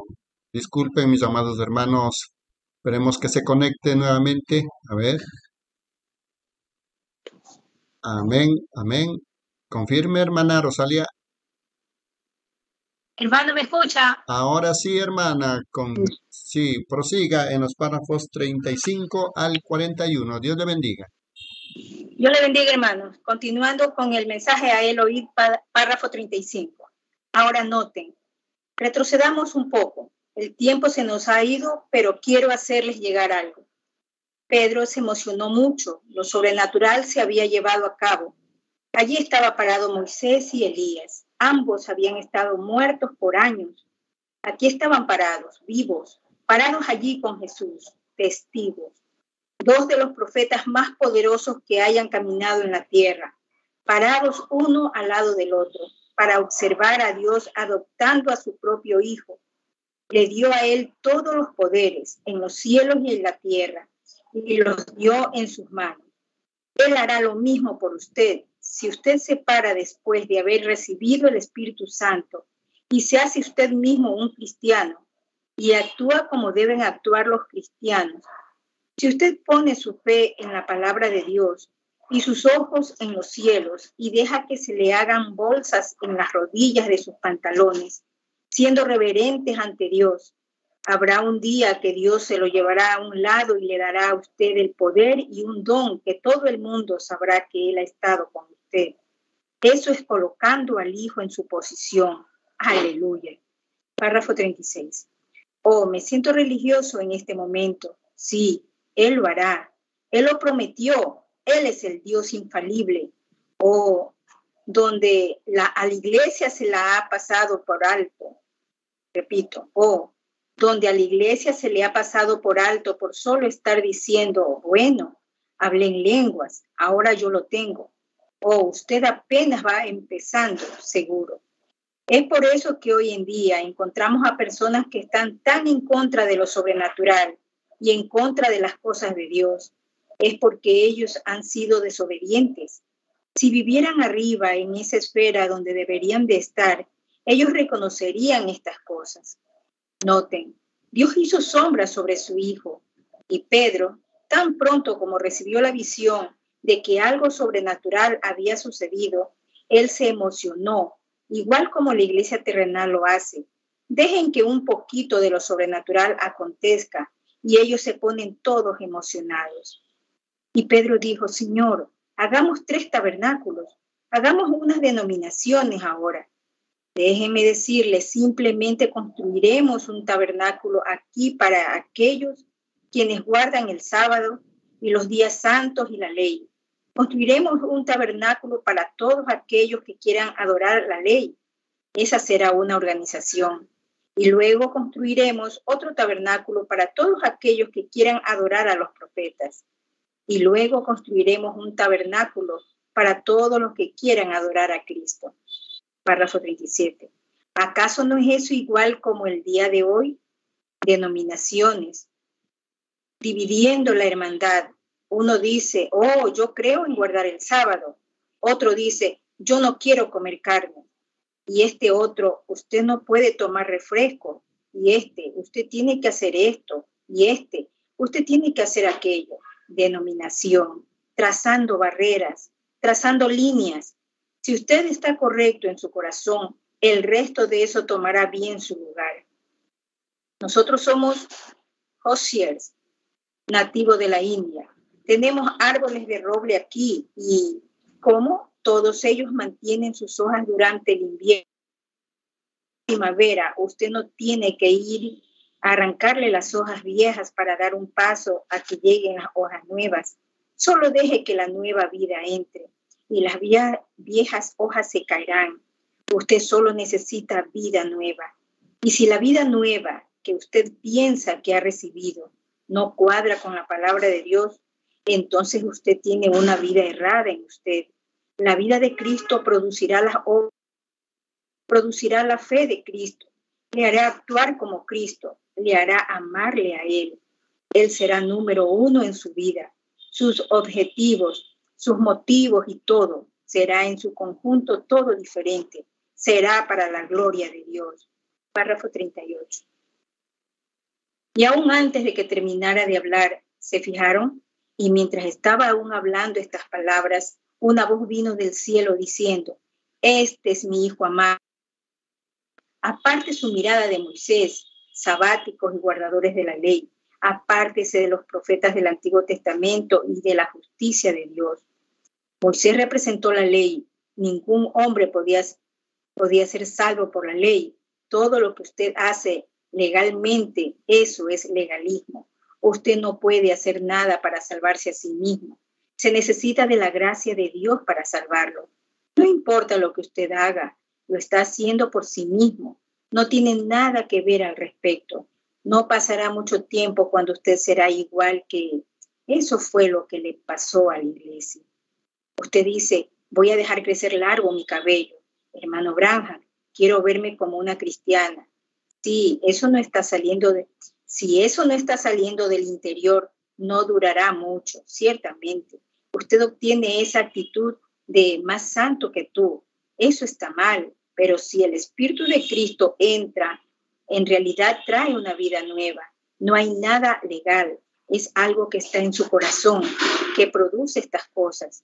Usted se alejará de los muros de estos edificios modernos de Babilonia, que están a punto de caer de todas maneras. Yo solo siento eso en mi corazón.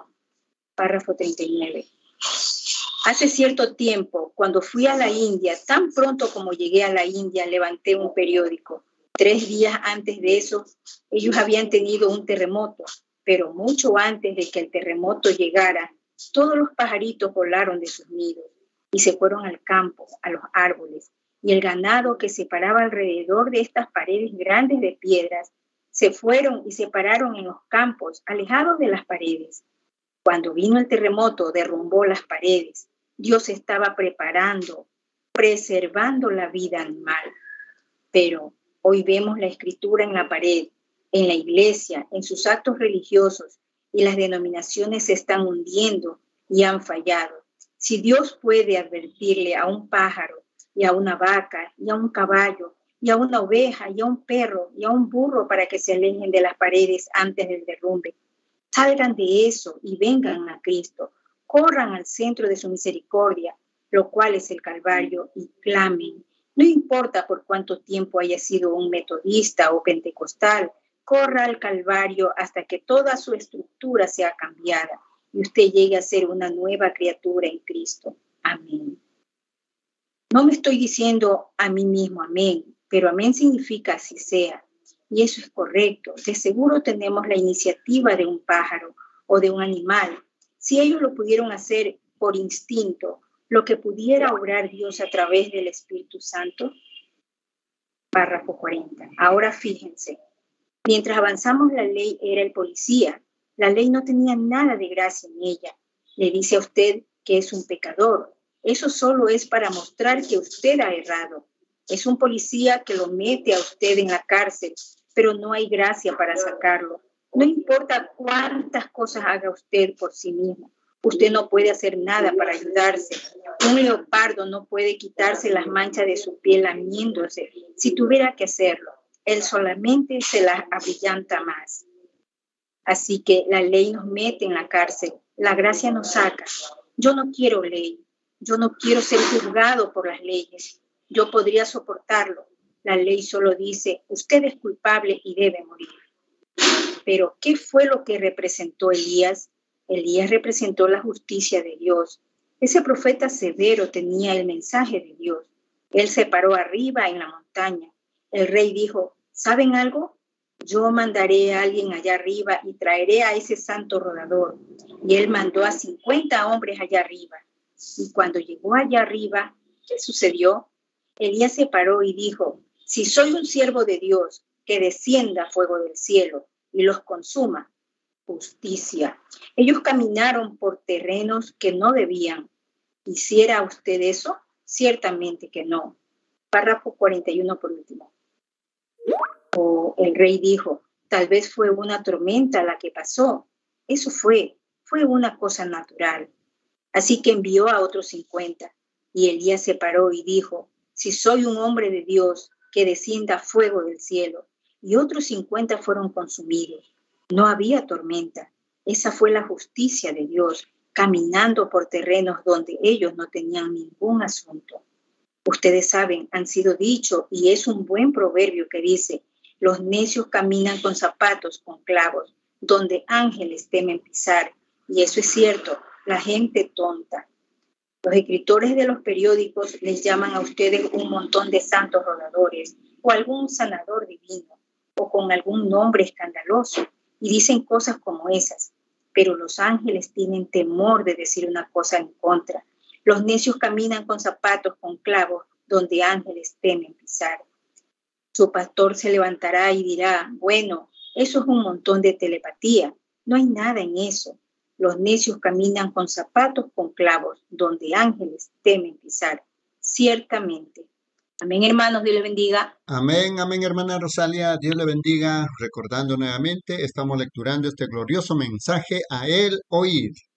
Mensaje predicado el día 9 de febrero del año 1958. Voy a continuar en los párrafos 42 al 45. Jesús dijo, estas señales seguirán a los que creen.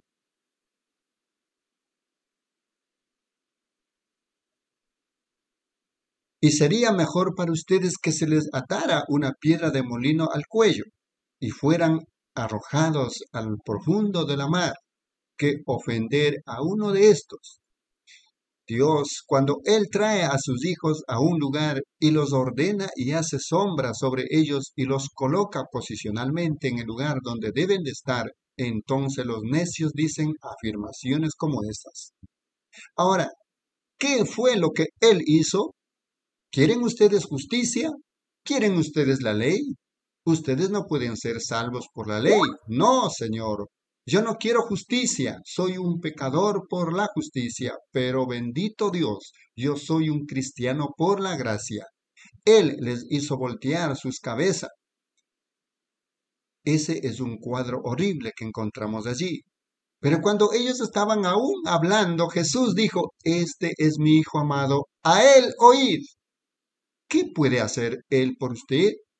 Él puede borrarle sus pecados. Él puede quitarle sus culpas. Él puede tomar la ley de Dios y hacer la justicia. Él puede tomar la justicia de Dios sobre su propio ser y llevar los pecados que usted ha cometido. Este es mi Hijo amado, a Él oíd. ¿Qué fue lo que Él representó? El amor de Dios. Párrafo 43. Yo no quiero su ley, no quiero su justicia, yo quiero su misericordia. Mi clamor es, Dios, no me juzgues, pero ten misericordia de mí. No me des justicia, estoy condenado, pero dame misericordia por medio de Jesucristo. Este es mi Hijo amado, a Él oíd. La ley ya pasó. Miren atrás, la ley se ha ido, la justicia se ha ido porque fue cumplida en la cruz. Y ellos vieron solo a Jesús parado allí, el amor de Dios hace un mundo perdido.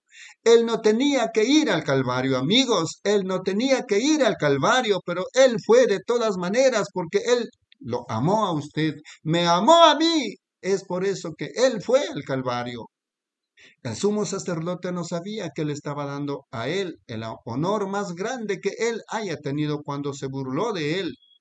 Dijo, veamos al obrador de milagros. Le pusieron un trapo en sus ojos y un soldado romano le golpeó la cabeza con una barra.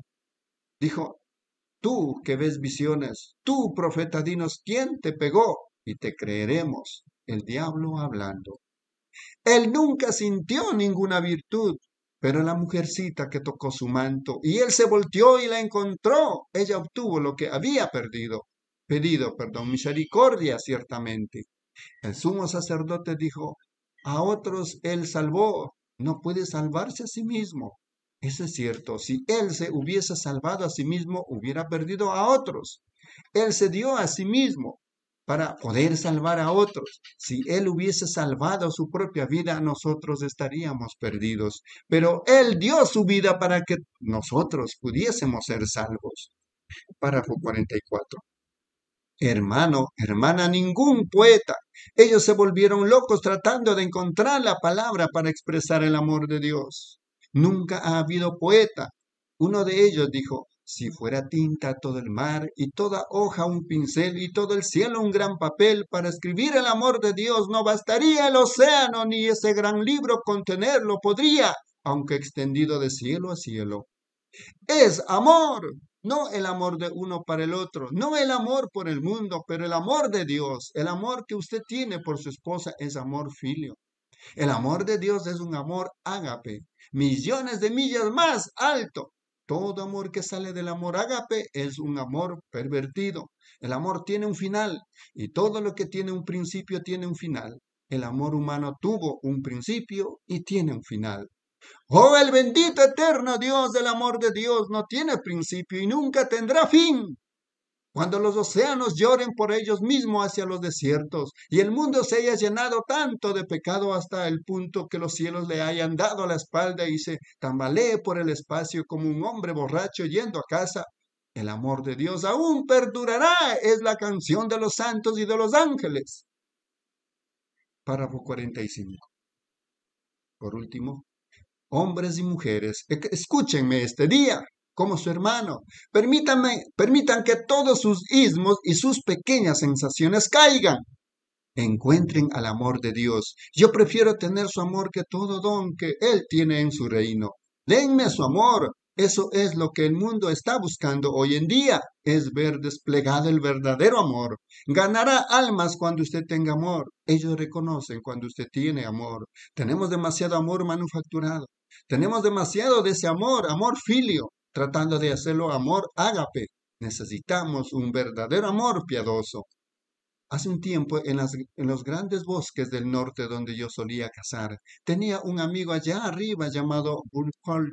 Es uno de los mejores cazadores con los que yo haya cazado. Un rastreador simplemente perfecto. Y, oh, él se quedaba con uno de las buenas y malas. Él conocía el bosque, pero era uno de los hombres de corazón más cruel que haya visto. Él le disparaba a los sarbatos solo para que yo le reprendiera por eso. Amén, mis amados hermanos.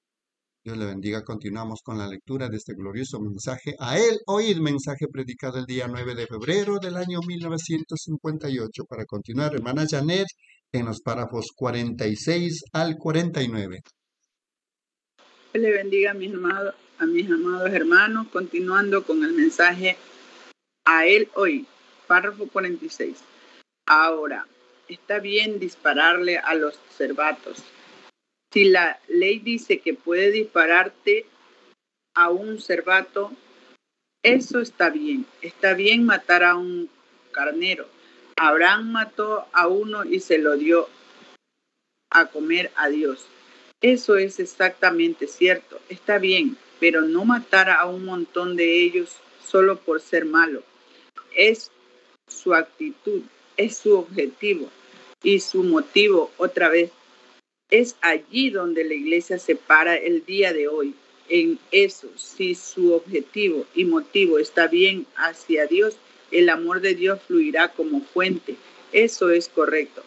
Pero no porque es mi iglesia. Yo lo quiero ver en mi ciudad. Yo quiero verlo en mí. Eso no está bien. Oh, amor de Dios, ven a, mi corazón es cuando él llega. Pero Bur era malo. Un año que subió allá, él se había hecho un pequeño silbato. Él tomaba ese pequeño silbato y lloraba igual como un pequeño cervato. Viene siendo como un bebé venado, llorando por su mami y él soplaba este pequeño silbato. Yo dije, de seguro no vas a usar eso. Dijo, oh, ustedes los predicadores con corazón de gallina. Dijo, eres demasiado corazón de gallina. Yo dije, Bur, no tengo el corazón de gallina, pero tú eres cruel, me disgusta como hombre. Yo creo que eres un buen camarada, un buen compañero de caza y un verdadero hombre con el cual estar en el bosque. Confío en ti en la tormenta de nieve cuando está de manera en, de manera enseguecedora. Eres un buen hombre, Burt, pero tu corazón no está bien. Él dijo, es solo que eres demasiado corazón de gallina. Dijo, me gusta ver cómo voltean. Yo sabía que estaba mintiendo. Párrafo 47. Tomó este pequeño silbato ese día que fuimos de cacería. Habíamos estado cazando toda la mañana y no habíamos visto ni una sola huella. Y como el mediodía, a mediodía nos sentamos a comer el almuerzo. Hay un pequeño lugar al descubierto, muy despejado. Él entonces comenzó a sacar ese silbato. La nieve estaba como está en el suelo aquí ahora, quizás no tan profunda. Y él sacó ese pequeño silbato. Yo pensé, oh vaya, y sonó como un pequeño cervato bebé llorando por su mami cuando lo hizo, lo hizo llorar justo cruzando el lugar como a unas 40 yardas, 36 metros de distancia, ni tan lejos, una gran madre gama, esa es la madre venada, venado, se levantó. Oh, ella se miraba hermosa, hermosa. Esas grandes orejas, sus grandes ojos cafés, y grandes venas en su cara, pues yo, yo la estaba mirando directamente. ¿Qué fue eso? Ella había escuchado el llanto de su bebé.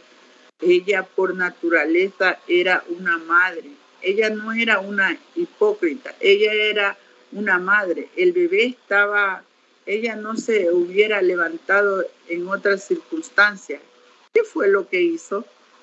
Párrafo 48. Oh, Bull, volteó a verme con esa sonrisita, sonrisita avergonzada y, y jaló el perno del rifle y arrojó una bala en la cámara de 3006. Y, oh, él era de una puntería mortal. Vi cómo nivelaba la mirada, la, la mira esos hilos cruzando, atravesando ese corazón de madre. Y aquí venía ella caminando al descubierto. Mirando, ella no hubiera caminado al descubierto por ninguna otra cosa. Ella tenía miedo. Pero ¿qué era? Ella era una madre. El bebé estaba llorando. ¿En dónde está? Él está en problemas. Ella se arriesgó ella salió caminando al descubierto y yo la vi dando la vuelta. Cuando vi esa mano firme de Burt, pensé, oh Dios, no dejes que, la, que lo haga. Burt, ¿cómo puede ser tan cruel? Esa mamá está buscando a su bebé y tú le vas a, a estallar su corazón. ¿Cómo puede ser tan malvado? Sosteniendo el rifle, yo volteé mi cabeza. En voz baja, yo dije, Señor, ¿cómo puede ese hombre ser tan malvado? Yo sabía que al tentar ese gatillo, esa bala le estallaría en pedazos su corazón. Allí estaba ella. Ella vio al cazador. ¿Acaso eso la detuvo? No, Señor, en cualquier otra circunstancia ella hubiera sido como Odini, un artista de, del escapatismo. Ella se hubiera desaparecido inmediatamente, pero ¿qué era? Ella era una madre. Algo dentro de ella en su interior significaba más que la vida. Su bebé estaba en problema. Ella buscaba para ver dónde estaba ese bebé. Párrafo 49. Yo esperé y esperé. El rifle nunca disparó. Miré alrededor y allí estaba el rifle moviéndose de esta manera. Yo lo miré a él. Lágrimas corrían por sus mejillas. Él arrojó el rifle al suelo y me agarró de las piernas y dijo, Pili, ya tuve suficiente de eso, no puedo hacerlo. Dios ten misericordia de mi malvado corazón. Allí mismo, en ese banco de, en ese banco de nieve guié a ese hombre de corazón cruel, a Cristo, quien ahora ambula los bosques allá arriba, un, un real y dulce cristiano de corazón manso. ¿Por qué?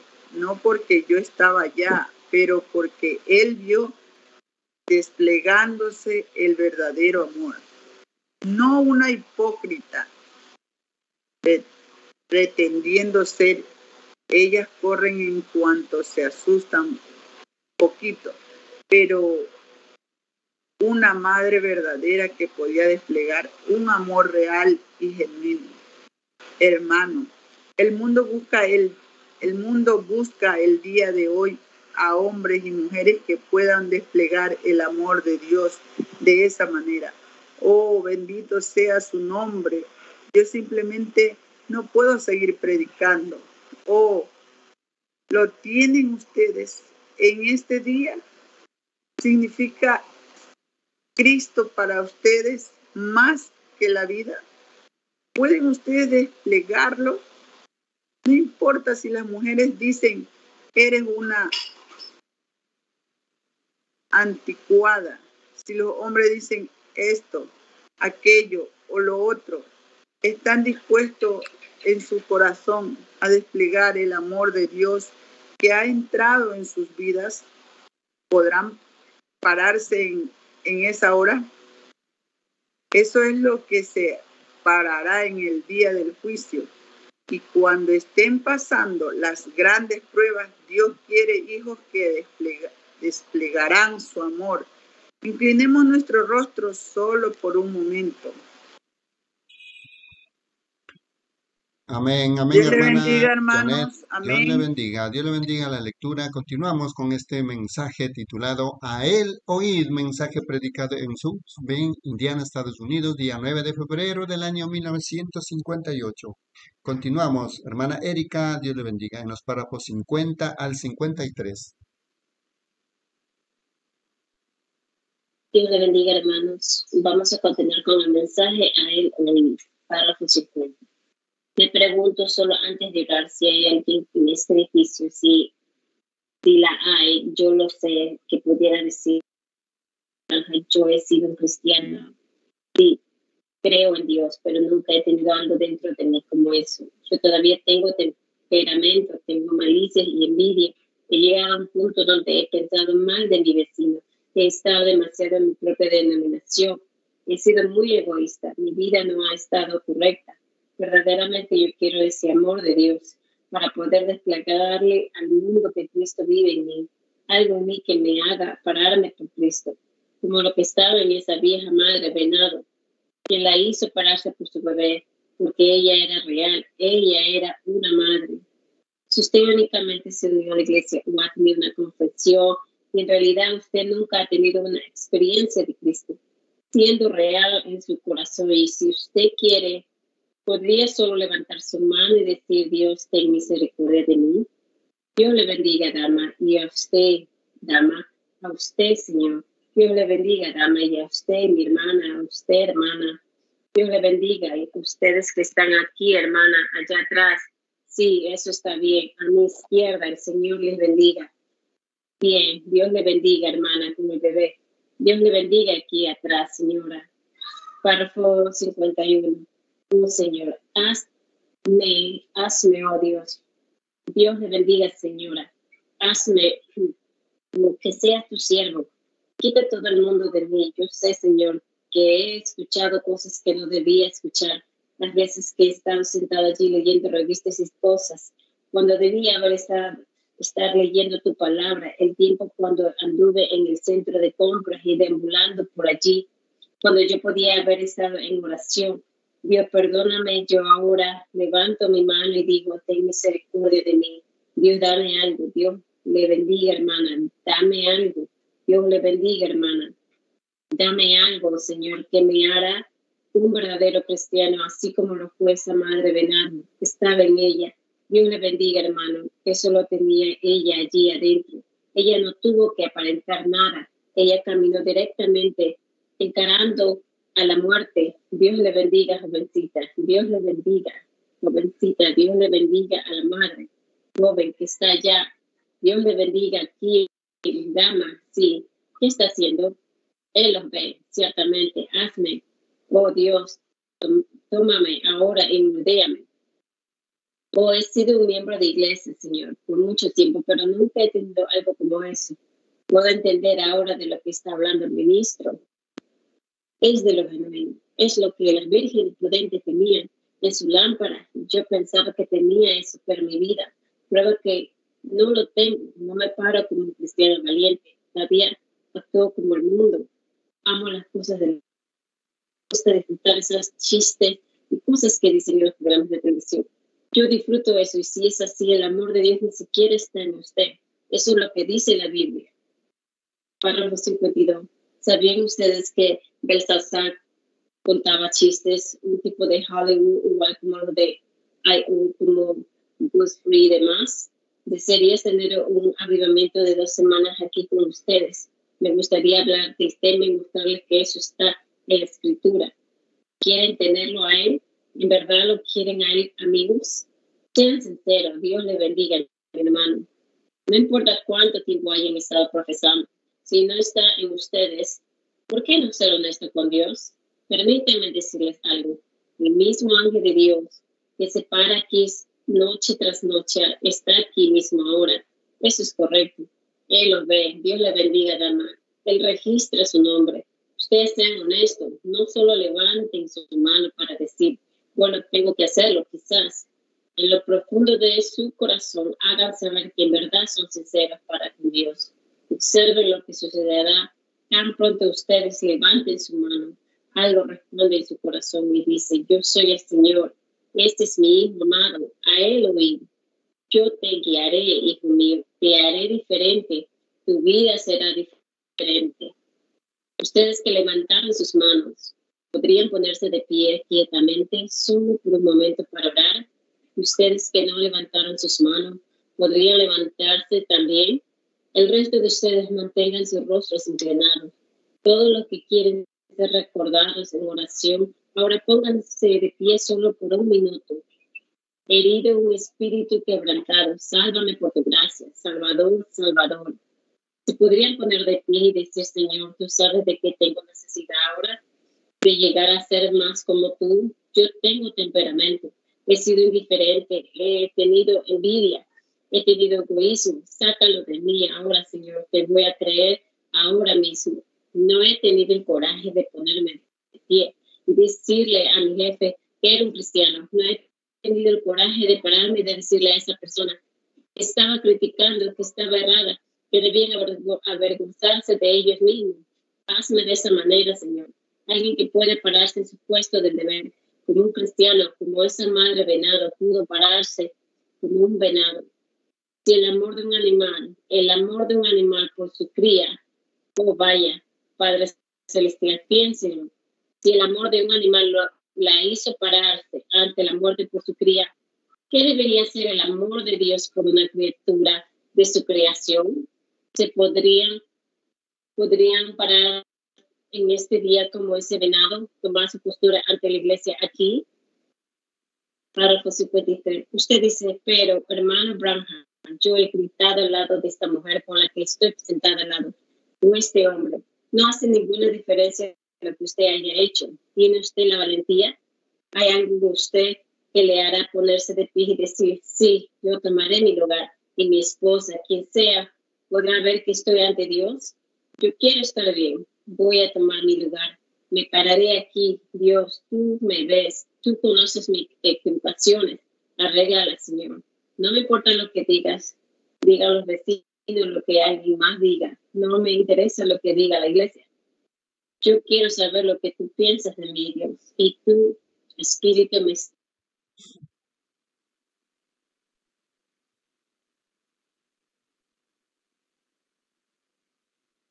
Perdón.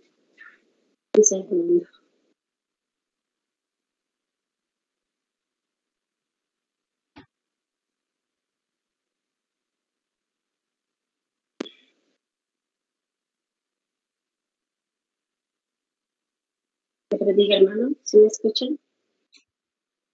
Amén, amén, hermana. Dios le bendiga.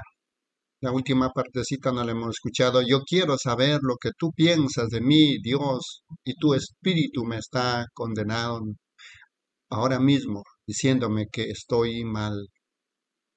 Dios le bendiga, mis amados hermanos y hermanas. De esta manera hemos concluido este glorioso compañerismo. Si Dios permite, el día de mañana continuaremos con la lectura de estos mensajes que nos ha puesto Dios en el camino. A él oír, mensaje predicado en Bend, Indiana, Estados Unidos, día 9 de febrero del año 1958. Vamos a pedir a nuestro Padre Celestial y en gratitud de todo que nos ha puesto en el camino. Gracias, Señor, Dios grande, digno de ser temido, que guardas el pacto y la misericordia con los que te aman y guardan tus mandamientos. Oh Padre amado, nos enviaste o nos trajiste en este último tiempo. Nos enviaste, Señor, en este espacio llamado tiempo, oh Padre. Somos peregrinos en esta tierra. Lo más glorioso es que tú nos enviaste en este último tiempo para cumplir tu, tu promesa final de Apocalipsis 10, 8 al 11 donde debemos comernos el libro, profetizar nuevamente para tribus, lenguas, naciones y reyes, Señor. Cómo deberíamos nuestro corazón estallar con tu palabra, con tu mensaje que enviaste con, a través del séptimo ángel, oh Padre. Estamos en este corto tiempo, como tú dijiste, Señor, en 2 de Corintios 5:1, porque sabemos que si nuestra morada terrestre, este tabernáculo se deshiciera, tenemos de Dios un edificio, una casa no hecha de manos, eterna en los cielos. Esa es la meta, Padre amado. Estamos poco tiempo aquí, pero tu palabra nos envió para sacar a vida eterna, Señor. Vuestra gratitud conjuntamente con vuestros hermanos y hermanas que han estado en la escena lecturando y teniendo este compañerismo contigo, Señor, te decimos muchas gracias. Si tienes un día más para el día de mañana, continuaremos con este compañerismo donde tú estarás y vendrás en la escena, Señor, a través de tu palabra. Muchas gracias. Te pedimos también que nos unjas en cada momento, en cada instante, porque tú controlas cada átomo, cada partícula de átomo, Padre en el nombre del Señor Jesucristo. Muchas gracias. Amén, mis amados hermanos. Que el Señor Jesucristo los bendiga grandemente. Amén, mis, mis amados hermanos. Si Dios lo permite, nos vemos mañana. Dios los bendiga. Amén, hermana Yané, Dios le bendiga, hermana Reina, Dios le bendiga. Amén. Dios le bendiga. Hermana Claudia. Hermana Claudia, Dios le bendiga. Mi hermana Claudia. No se esconde, hermana Dios le bendiga, hermanitas. Dios le bendiga. Hermana Erika, Dios le bendiga. Dios le bendiga. Le cantamos a Dios, quien nos redimió de todo linaje, lengua, pueblo y nación. Al que vino como cordero y ahora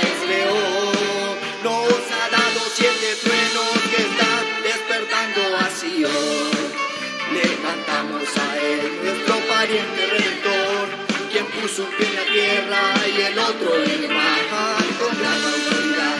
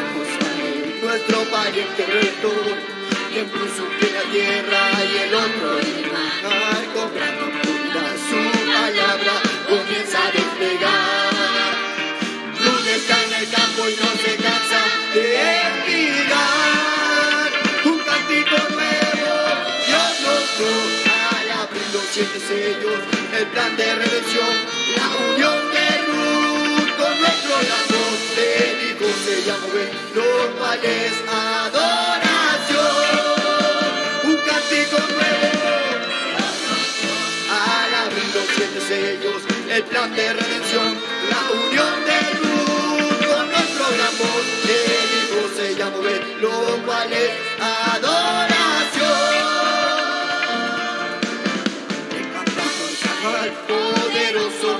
conquistador, por el fuego suecale una multitud cayó. Por los diez espías decían a gigantes de ganar, pero Caleb le repetía, subamos a nuestra heredad. Levantamos a él, Jehová Jireh, nuestro proveedor, el que proveyó un cordero en el tiempo de Abraham. Un hombre con siete letras como el mensajero de nuestra edad. A él le encendan llevar una novia para estar, un taquito nuevo, yo no soy a la de los siete segundos, el plan de retención, la unión.